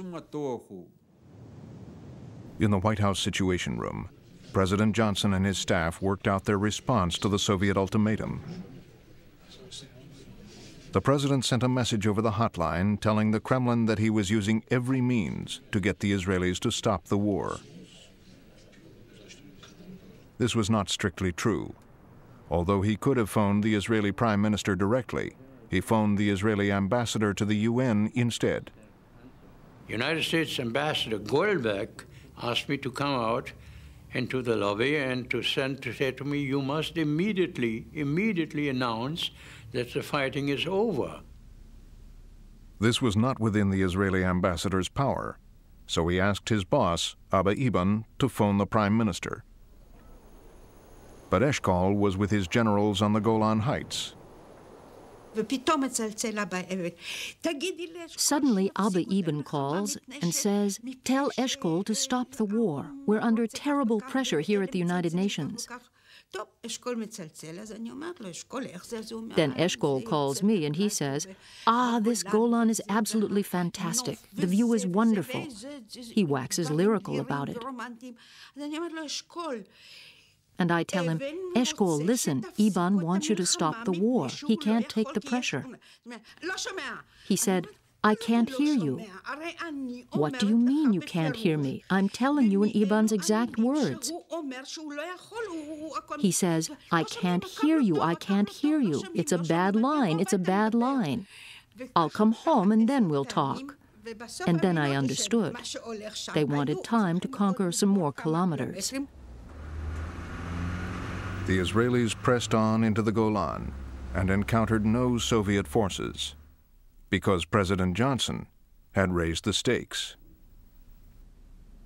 he asked McNamara what distance from the Syrian coast the fleet, American fleet, was at the time, and he said 100 miles. It was steaming toward, uh, toward Gibraltar on a training exercise. We turned it around. And the president said, move them to within 50 miles, knowing that the fleet was shadowed by Soviet electronic ships, and they would know him directly. That was also part of the message. So our secret invasion by the back door never happened. Thank God for that. The Israeli government waited until their forces had achieved their objective before giving the order to halt.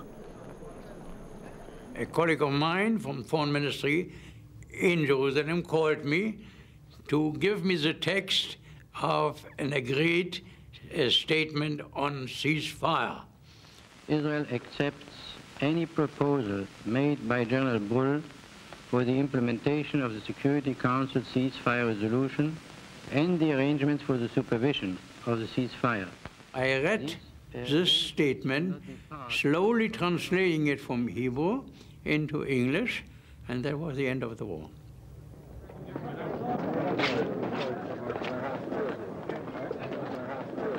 In six days, the armed forces had quadrupled the territory Israel controlled. From Syria, they had taken the Golan Heights. From Jordan, the West Bank and the Old City of Jerusalem. From Egypt, Gaza and the Sinai. With so much land to trade, Israel had its best chance ever for peace.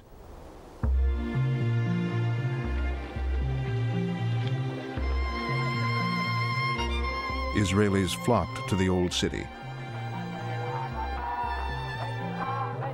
To them, the victory was a deliverance from destruction.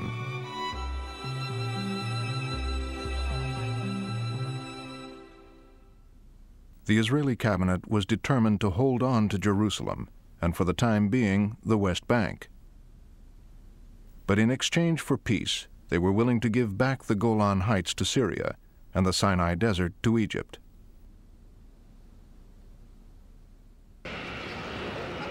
The foreign minister told the Americans of Israel's offer. When I presented these to a meeting headed by uh, Dean Rusk and Goldberg and uh, in general they were astonished by the fact that we were clearly not in a mood of annexation. That was, uh, uh we believed then, um, a rather remarkable initiative on the part uh, of the Israelis because we were operating on the assumption. Eban had told us some days before, we are not interested in territory. That week, President Johnson was hosting a summit for Soviet Prime Minister Kosygin. Eager to appear as peacemakers at the UN, the two leaders had a peace resolution drafted. In Cairo, it was scrutinized by the Foreign Ministry. This was another turning point in the Arab-Israeli conflict. We concluded that this proposal was the best we were likely to get. We advised the foreign minister to accept it. The minister looked at it differently.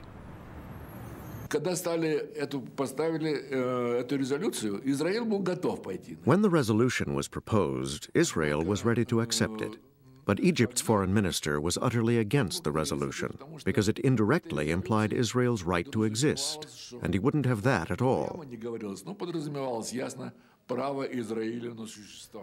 Israel, of course, did not want any resolution that only said, pull back your forces, but didn't recognize Israel's existence. So this was the problem.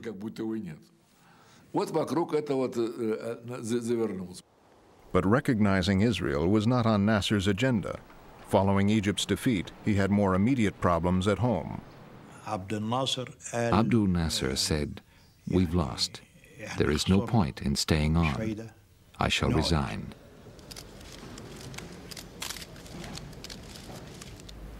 I have decided to resign totally and finally from all official positions.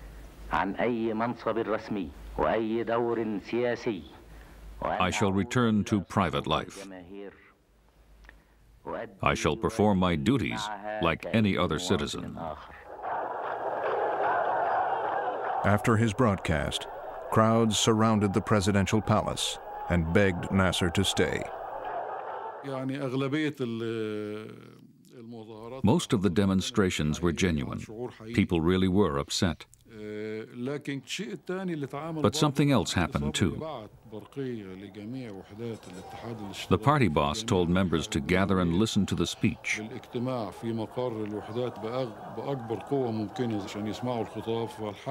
After the speech, they took to the streets and chanted, We want Nasser, no leader but Nasser. Nasser stayed on as president. His old friend Marshal Amer became the scapegoat. He refused to resign, so Nasser had him arrested.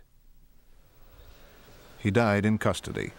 It was said in Cairo he was suicided. Shortly after, Nasser rejected the Soviet American peace plan. Nasser could not bring himself to accept the peace plan. He was a hero to the Arabs. He couldn't be seen negotiating with the Israelis. Three months later, Arab leaders met to formulate a unified policy towards Israel. Nasser, still the idol of the Arab world, was subdued. I found him a different man. I noticed from the outset that uh, he felt uh, a great sense of guilt the Arabs agreed to reject any compromise with Israel. The decision by the Arab countries uh, not to negotiate with Israel, uh, not to make peace with Israel, and uh, not to recognize uh, Israel. With no recognition, no negotiation, and no peace, it was only a matter of time before war would break out again.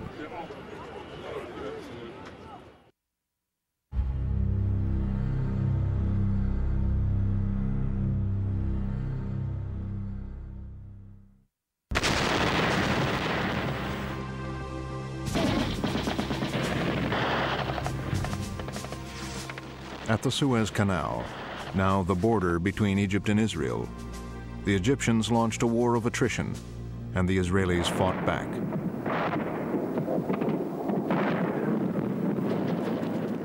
With growing casualties, political attitudes in both countries hardened.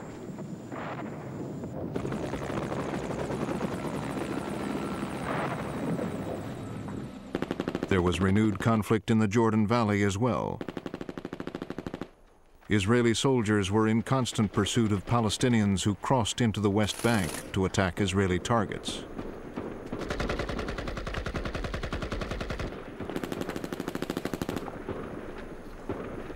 There was no talk of peace.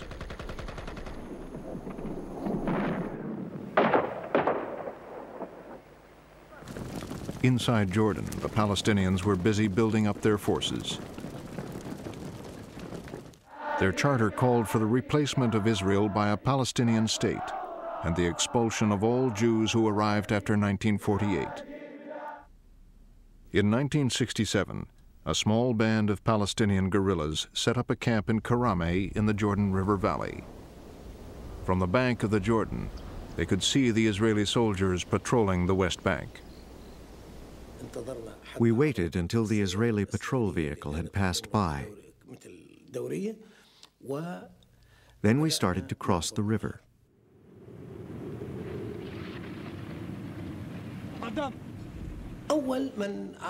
The first to cross was Abu Ammar. Abu Ammar, or Yasser Arafat, was an engineer who became one of the founders of a resistance group called Fatah. This was their first crossing of the River Jordan, launching their campaign to establish a Palestinian state. We know that is not easy. But we are ready to pay the price. On me, the water of the River Jordan came up to here. On taller people, of course, it wouldn't come so far up. Now, Arafat is short, and the water came up to his shoulder. He had his clothes on top of his head, and he waded slowly, slowly. If he slipped, he would fall, and everything would get wet, especially his gun. Beyond the river in the occupied West Bank, the Fatah guerrillas set about recruiting and training small resistance groups to strike at Israel.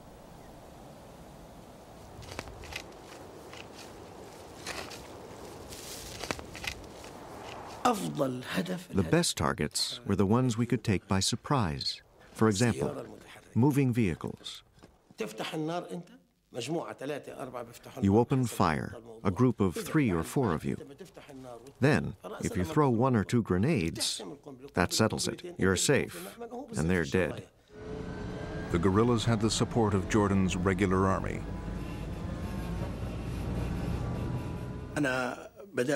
At first, I encouraged them when they went on operations. We would provide covering fire as they crossed the river. If the Israelis hit back, the Kingdom of Jordan would take the blow. So I asked His Majesty to meet them. I had never seen a photograph of, uh, uh, of Arafat uh, up to that uh, point or uh, had a description of him. So I was looking at a sort of a big burly uh, figure that I thought must be Arafat. And uh, when he finally came to say goodbye, I suddenly realized it wasn't uh, the image I had formed of, of, uh, of Arafat. The actions launched from Karame worried the king, but he was unable to stop them.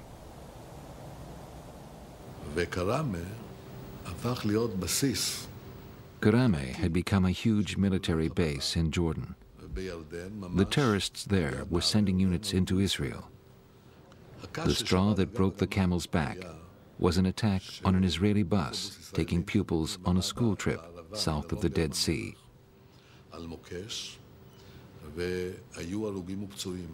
It hit a Palestinian mine. Children were killed and injured.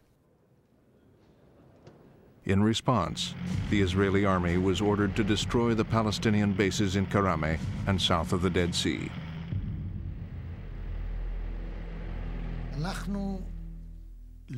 We were not very careful. After the 1967 war, we didn't take the enemy seriously. We didn't bother to hide any of our troop movements.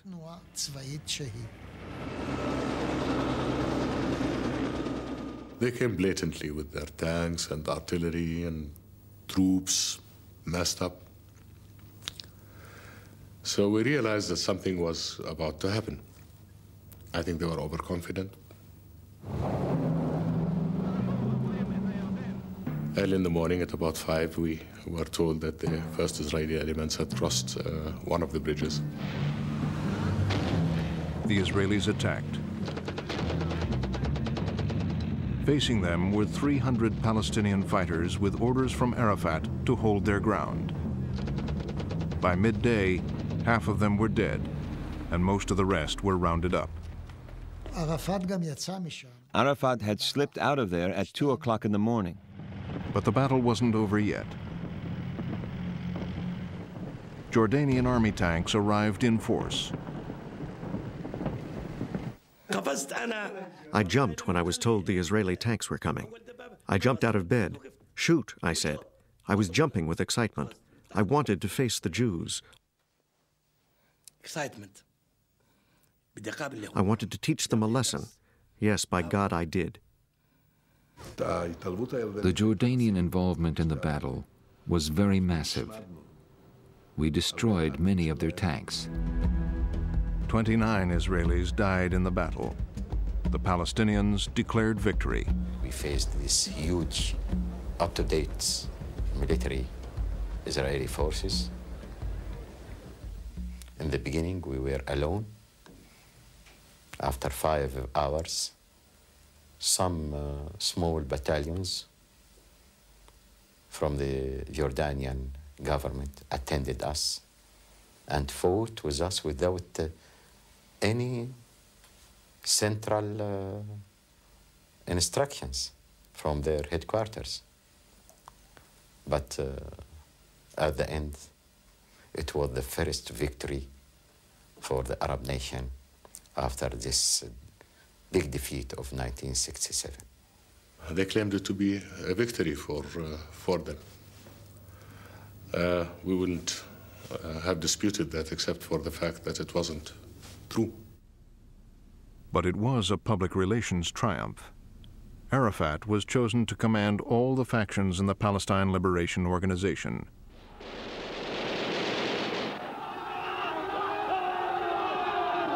Inspired by the stories of a great victory at Karame, volunteers from many countries came to swell the ranks.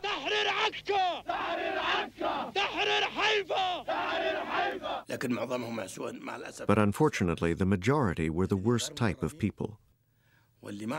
They were untrained and undisciplined. The PLO grew larger, and our problems grew with it. It was total uh, anarchy. We had uh, uh, 52 uh, various guerrilla organizations uh, of all various types, and, and they weren't just uh, Palestinian guerrilla organizations.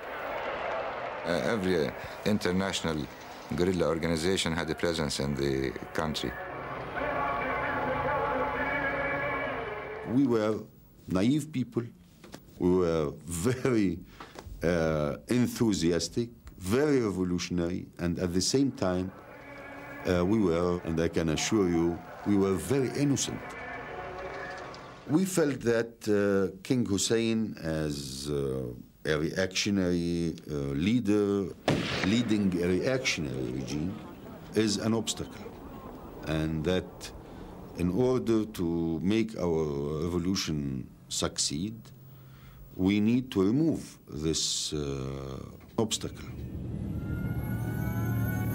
One day, shooting broke out in the capital, Amman, and the king drove off to investigate. And on a crossroad, where there was a military police checkpost, we found that one side of the road was closed, and the other side also was blocked by an army lorry. We stopped. As we came to a stop, suddenly uh, we were under very, very intense heavy machine gun fire. The guard car in front of me uh, was hit. We lost a sergeant of my guard and about four wounded. Everyone jumped out of uh, my car and yelled at me to uh, do the same. We could see the, the bullets from those heavy machine guns coming down at us, uh, hitting the, the asphalt, the tarmac around us. Uh, it was like uh, raindrops on a parched land, just uh, making holes. And, and those rows of holes were getting closer and closer to where we were standing. I felt very angry. Uh, and I believe my reaction was to say a bad word, but essentially to the effect of, how dare they? The king jumped into a ditch. Spontaneously, on, on the spur of the moment, uh, I had an idea to protect His Majesty physically, and, and uh, the, the, commander of the guards had the same idea at the same uh, time. They converged from both sides to try to give me body cover, and they nearly broke my back in the process. Their driver turned the car around. We got into the car, shooting going on engine was revving like mad, but we were still stationary. So I told the driver, just hang on a second and engage the gear, which uh, in his anxiety had forgotten to do, and we shot off. The faction most determined to overthrow the government of Jordan was led by George Habash.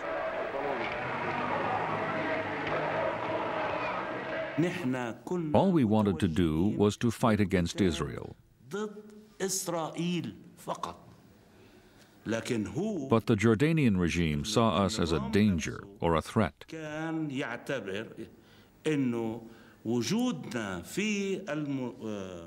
This was their problem, not ours.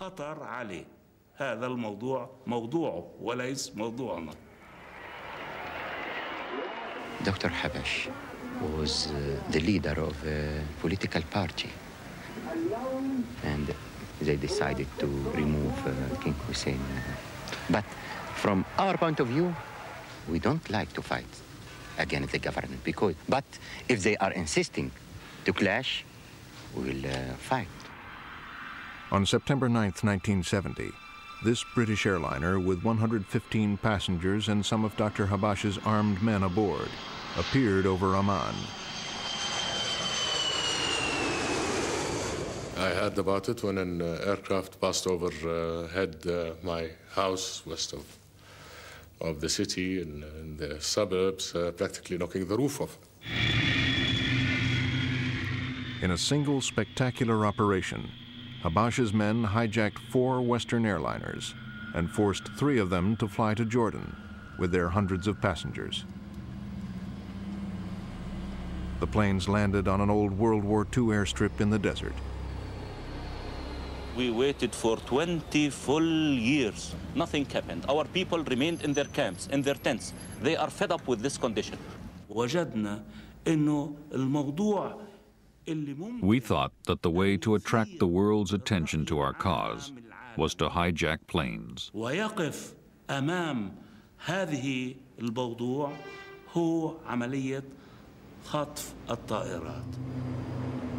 The Jordanian army surrounded the airstrip and the general in charge went in to negotiate with the hijackers. We spoke for hours. It was terribly hot. I stayed in the shade of the aircraft. I made a deal with them. We take the passengers, they keep the planes. 435 passengers and crew were taken off the aircraft, but some were kept as hostages.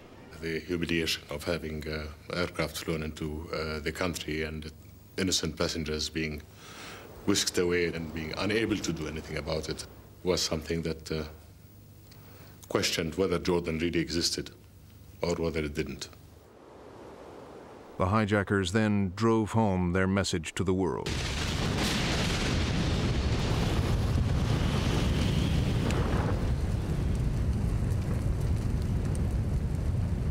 Well, that was uh, the limit. Uh, as far as I was concerned, uh, something had to be done and done soon. Four days later, with control of the kingdom slipping away, King Hussein declared war on the PLO. That day, Jordanian tanks and soldiers moved into position around the capital. Arab was poised to fight Arab. I think I tried to get uh, a little bit of sleep that night. I, I prayed a lot. And, and uh, in the morning, first light, uh, there was movement into the city.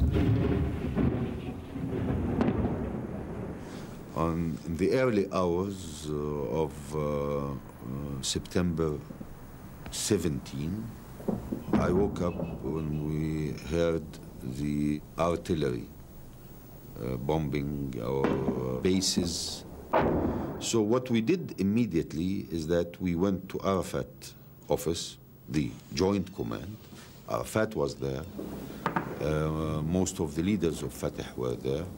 Even Habash was there, and they uh, were calling through telephone uh, and through wireless uh, Damascus, uh, telling them about the news and asking in an open way for a Syrian uh, intervention. On the third day of fierce fighting, the Syrians responded. Our intelligence and our radar informed us that the Syrians were massing uh, tank formations on the Jordanian-Syrian border. We had been arguing over this uh, Syrian invasion, particularly with our uh, Soviet friends at the time.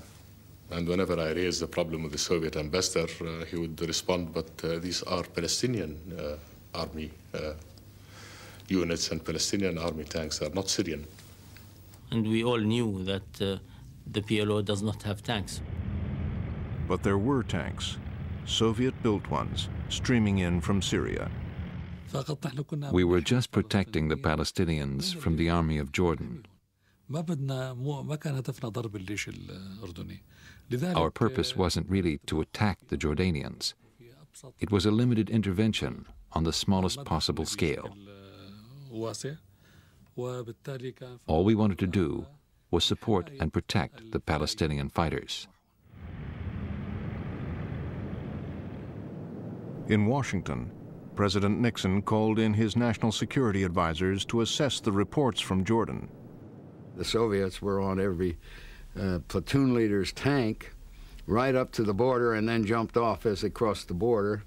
And Syrian officers were in command of what were allegedly PLO volunteer forces. So we knew it was an international superpower crisis. The president summoned the Soviet ambassador.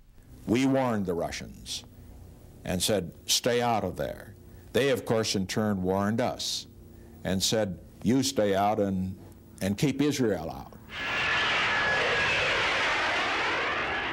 In the meantime, King Hussein's forces had destroyed many of the Syrian tanks, but they could not stop the advance.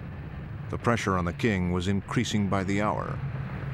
When the, the Syrian tanks had reached the town of Irbid, which is about two thirds of the way from the Syrian border down to Amman. About at that town, on the edge of it. Uh, that's when he was really starting to panic. With all the threats from almost every direction, and the situation, to all intents or purposes, uh, looking almost impossible to cope with. Uh, Army headquarters began to tell me that uh, we needed help from outside and we should ask for it from uh, the Americans and any quarter that would uh, be willing to, uh, to, to, to help. In these circumstances, any quarter could mean only one thing Israel.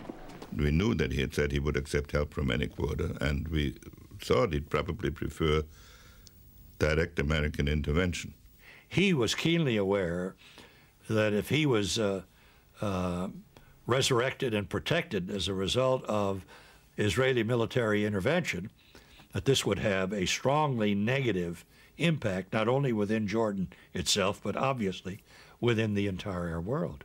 This was something that was discussed between Sisco, myself, uh, Haig, and one or two of my staff people. The advisors knew that President Nixon would have to be informed about the situation right away.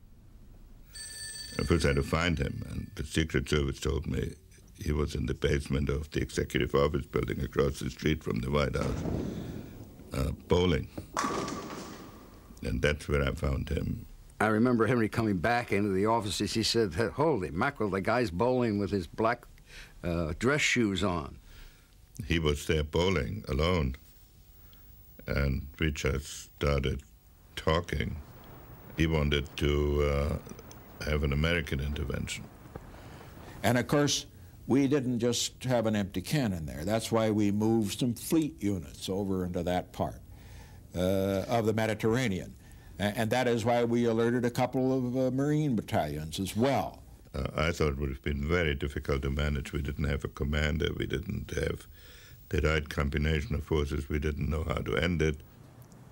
Mr. President, we said, uh, we think the Israelis are in the best position to do this. Um, they're close to the scene. Uh, the resources can be employed uh, rapidly. Once he understood that, he uh, agreed to back the Israelis Hussein was quite aware of and approved of what we were doing in this thing, and if he didn't approve, he didn't let us know. It was America's ambassador in Jordan who broke the news to King Hussein. And what I was told to say to him is, we'll get the Israelis to come in and help you. And I think this is a very serious moment for the king. We asked Rabin uh, uh, what the views of the Israeli government uh, would be uh, in these circumstances. And uh, Rabin said he would he would report home and ask.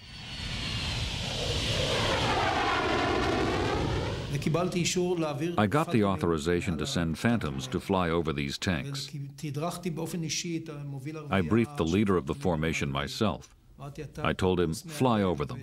Leave no doubt that they see you and hear you. Make mock attacks so that they understand what we want them to do, which is to turn around and go back. So our four aircraft perform maneuvers over these tanks. On the side, I had another two quartets waiting, just in case. But no one bothered them. The tanks turned around and went back. A quartet of phantoms was enough. Defense Minister Assad did not want to commit our Air Force. We were fighting an ally. The Jordanian army is our friend. We can't attack them using planes. Whether it was because of Arab solidarity or the threat of Nixon's Sixth Fleet and Israel's warplanes, Syria finally withdrew its tanks.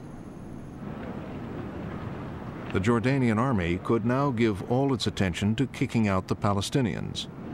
Yasser Arafat, hiding somewhere in the capital, sent out an SOS. I remember that he made the broadcasting uh, through the uh, station we had, asking the Arab world and the Islamic world to intervene. The Arab world heard him. Its leaders gathered in Cairo for an emergency meeting chaired by President Nasser. Nasser decided that the leaders should send a delegation to Jordan to ask King Hussein to stop killing Palestinians. At the head of this delegation was the president of Sudan. We went to King Hussein. Of course, he offered us every kind of delicious dish. They kept telling us that uh, you have to stop things immediately. Well, we can't stop. I mean, we're in the middle of a life and death uh, struggle. Then we stayed for dinner, going through all the arguments. I believe that that experience was one of my worst during that particular uh, period of time. Because one is concerned, one is worried, one is trying to deal with uh, uh, problems changing every minute, and suddenly to have to entertain a group uh, that uh, is totally out of touch with, with reality or with the needs of the moment. And we kept on talking and going through all the reasons until daybreak.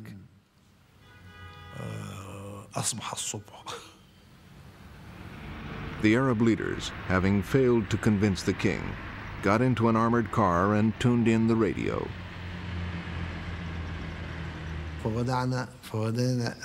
We started to hear Arafat talking and Arafat calling for help. The leaders went to Arafat's hideout and provided him with a new identity a family man complete with wife and child. We passed off the child as Arafat's so that the guards at the airport would not stop us. And we made Arafat change into Arabian dress. Thus disguised, amid the delegation of Arab leaders, Arafat made it past King Hussein's soldiers guarding the airport. And then suddenly I uh, heard with, with uh, utter shock and disbelief that they arrived in Cairo. They had Arafat with them. Arafat had had a close shave in more ways than one.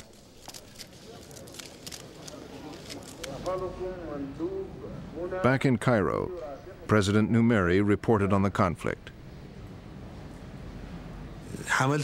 It was unfair to Jordan and to King Hussein. King Hussein decided that he too had better join the meeting in Cairo. I, of course, came in still in, in my, my fatigues and with, with my uh, gun in position. And he spoke in the conference and responded to the allegations. He said he was not against the Palestinians at all. President Nasser imposed a deal which met most of King Hussein's demands. Arafat gave in. He agreed all his fighters would leave the capital. The PLO tried to regroup in the north of Jordan, and it took King Hussein another year to drive them out of the country altogether. The PLO's attempt to take over Jordan had failed.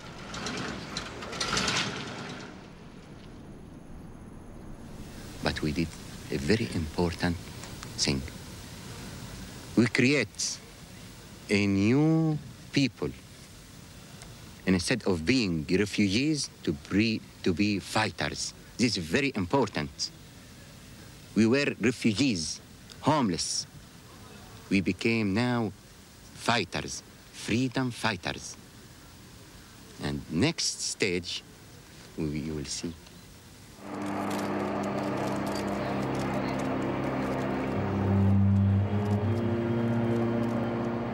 Arafat and his battered fighters moved to Lebanon,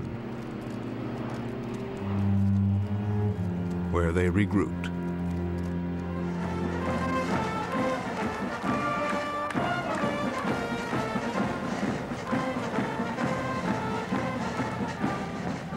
Soon, Arafat would be strong enough to become a power broker in Lebanon and continue his attacks on Israelis.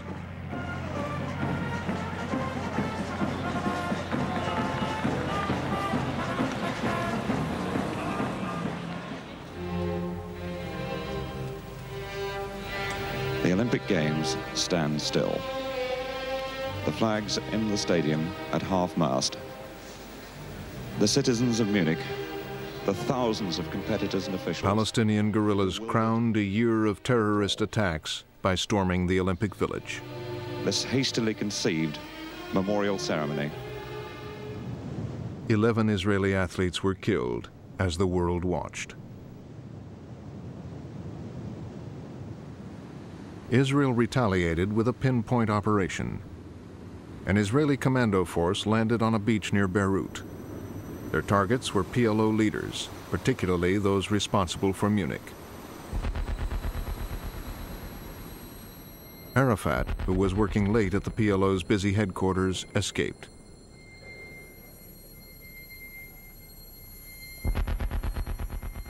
But the guerrillas who planned and carried out the Munich operation were killed.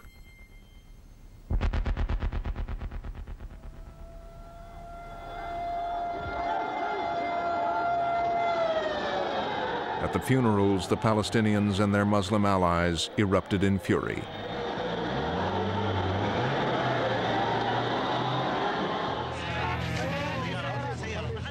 To everyone's astonishment, this man turned up at the funeral.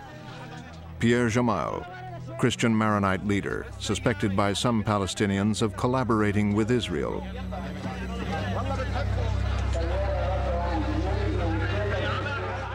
Gemayel led a Christian militia, the Phalange. He warned Arafat to stay out of his conflict with the Lebanese Muslims.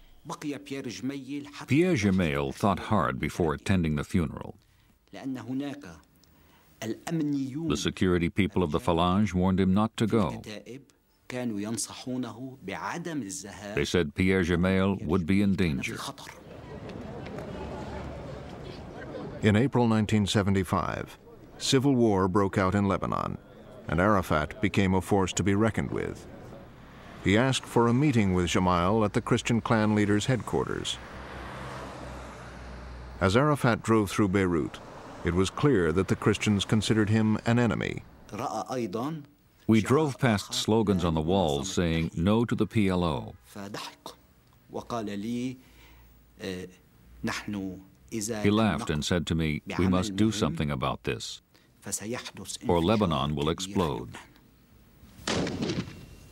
The civil war escalated. Arafat aligned himself with the Muslims, while Christians sought the help of Israel. The Christian leader then gave the PLO an ultimatum. We are asking the Palestinians to stay quiet if they want to remain in Lebanon, to stay quiet in Lebanon. I don't think that we are going to accept in the future that any war can be waged from uh, Lebanon uh, from the Lebanon borders because this, uh, and the past experience has proved it, this will prove disastrous for them. Arafat ignored the warning. 1974 had seen a succession of Palestinian raids across the border into Israel. In one attack, 18 Israelis, including eight children, died.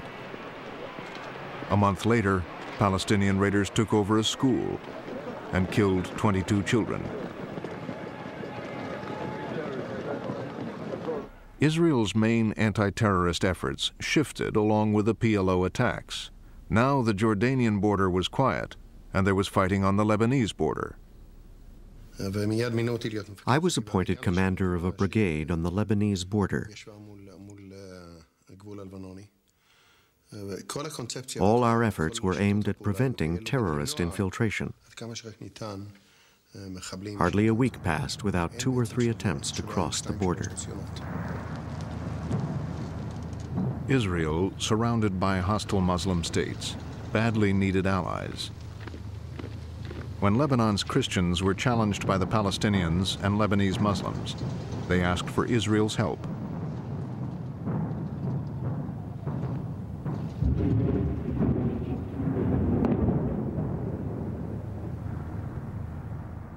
Defense Minister Shimon Peres sent an Arabic-speaking officer on a secret mission to Beirut. In my heart, I decided that such a man must volunteer. His life would certainly be at risk. And when I told him I was willing, he smiled. He said, It's very dangerous. I said, I know. I saw Fuad's mission as a trip to a minefield, a place where there are many traitors.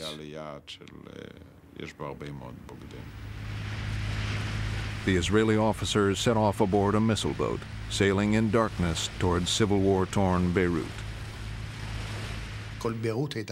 All Beirut was lit by cannon fire. A city like hell. Unbelievable.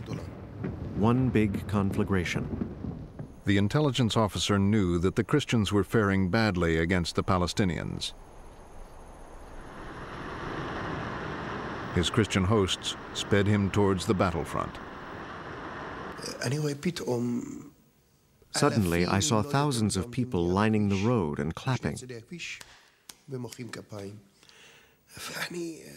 I said to my host, What's this?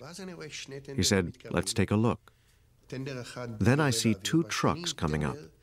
One truck has men shooting in the air, the other has ropes tied to it. At the end of each of these ropes is the body of a PLO terrorist, and this truck is dragging them along the ground. And the men on the back of the truck are just shooting and shooting at them, although they had long been dead. I was simply shocked. Lebanese Muslims and Christians and Palestinians fought and murdered each other with ferocity. Some 40,000 would die on both sides. A British journalist reported, At its most hideous, this civil war has been simple. Muslims have murdered Christians, Christians have murdered Muslims. Not in battle, but in cold blood. These men were innocents, kidnapped in the street, taken to a secret place, tortured, shot, and then dumped in the street again for their families to find.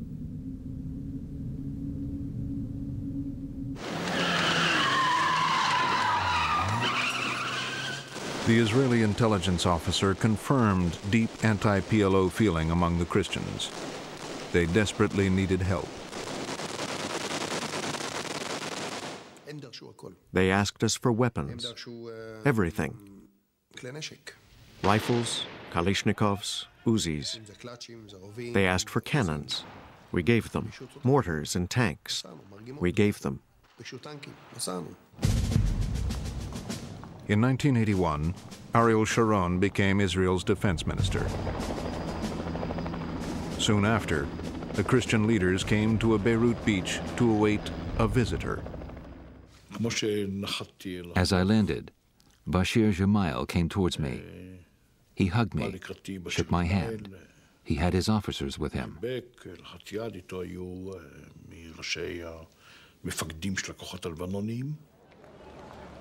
Bashir, the son of Christian leader Pierre Gemayel, now controlled the weapons supplied by Israel.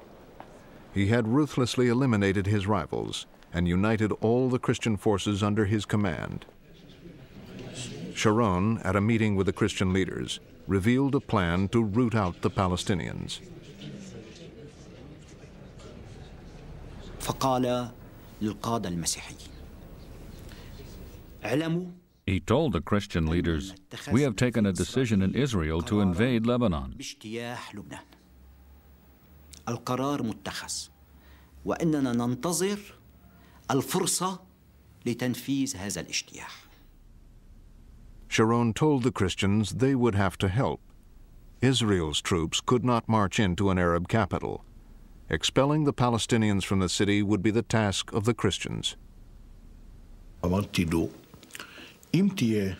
said, remember, if an invasion happens, it's a mission you will have to carry out. You, and only you, can do this.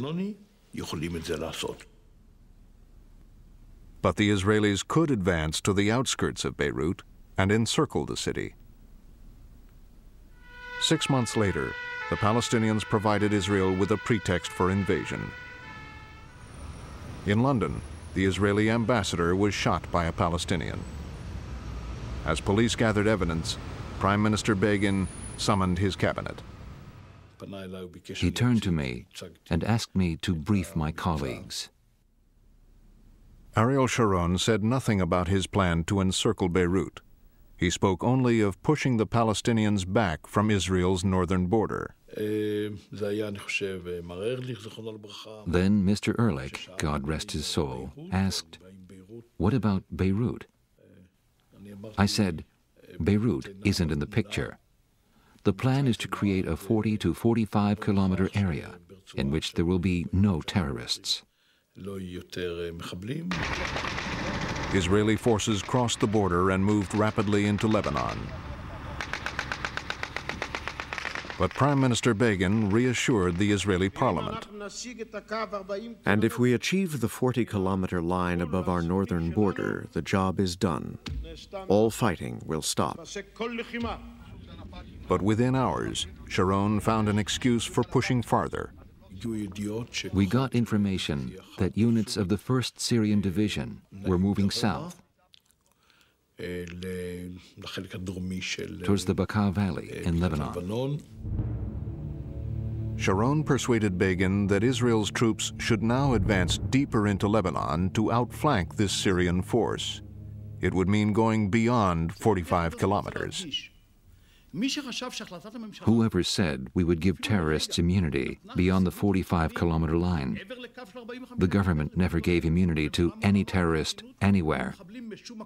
We will not give immunity to any terrorist anywhere.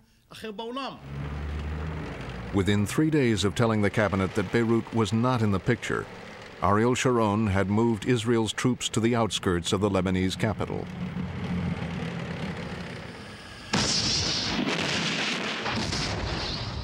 For nine weeks, they laid siege to Beirut, exchanging fire with the Palestinians. We are here, and we will continue to be here, and we will defend this city, the first, the first, it is very important, it is the first Arab capital which the Israeli are blockading. It is very important. You have to put in consideration what is it means for the next generation. What have been done, you will pay its price. The harder Arafat fought back, the more people in Lebanon suffered. Their capital was being destroyed. Even Lebanese Muslims demanded that Arafat and his fighters leave Beirut.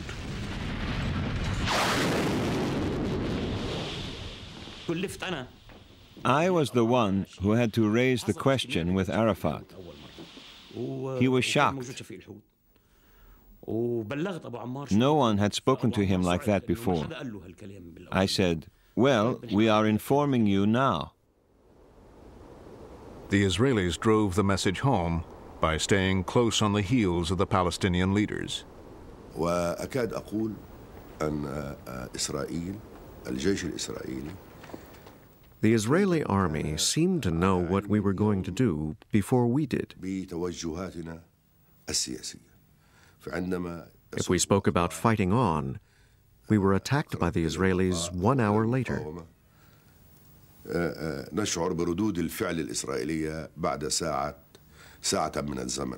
There was a meeting in one of, head, of our headquarters, and I, uh, I tell them, please, get out, get out. Leave it. Just now, he said, we, uh, you are inviting us for a meeting. He said, please, leave this place directly. I don't know why. Believe me, I don't know why. After 15 minutes from our departure, they bombed. In a cellar under the rubble, the PLO leaders faced a stark choice. وكان قد وصل إلى قناعة ياسر عرفات Arafat was convinced that we had to evacuate Beirut. ولكنه كان حريصا في نفس الوقت أن لا يسجل But he was careful to avoid being the one who ordered Palestinian forces to leave Lebanon. من لبنان كان يريد أن يكون القرار جماعيا ويساهم به He wanted a collective decision by all the faction leaders.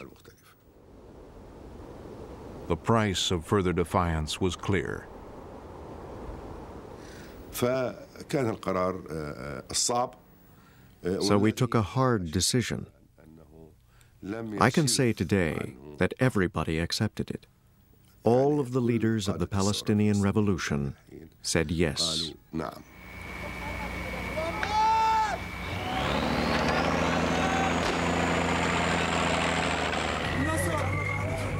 In the last days of August 1982, thousands of Palestinian fighters were forced to evacuate Beirut.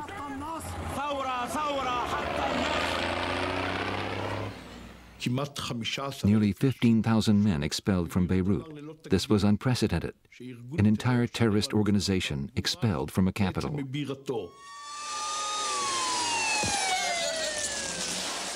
Then, in a massive explosion at his party headquarters, Bashir Gemayel, Lebanon's president elect and Israel's ally, was assassinated. The Israeli defense minister became convinced that Palestinian fighters were still operating in Beirut. They left behind at least 2,000 armed men.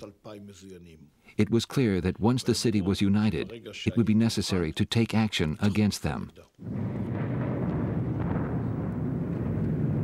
Christian militiamen sought vengeance for the death of Gemayel.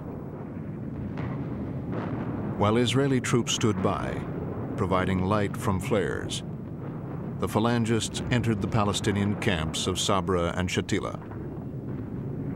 There were no PLO fighters there. They found only old men, women, and children, and slaughtered them. Oh, You should be ashamed of yourself. I am not here to explain this horrible tragedy.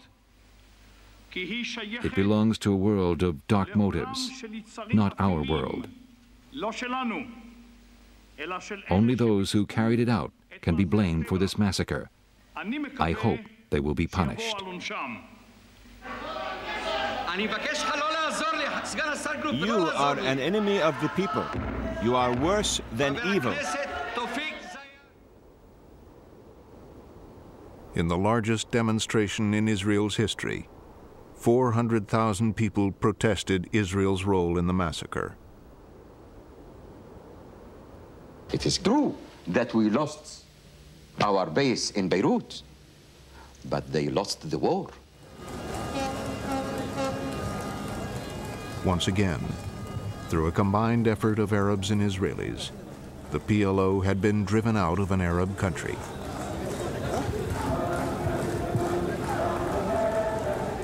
Yasser Arafat, the great escaper, was on his way to yet another base, this time in Tunis, 2,000 miles away.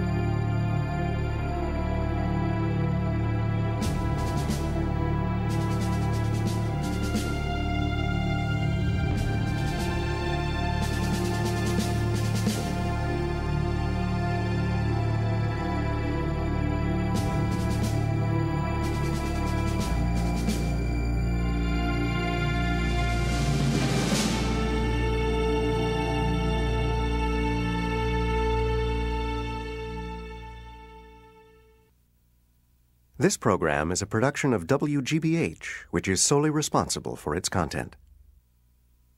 Funding for the 50 Years' War, Israel and the Arabs, was provided by the Corporation for Public Broadcasting and PBS viewers like you. This is History's Best on PBS.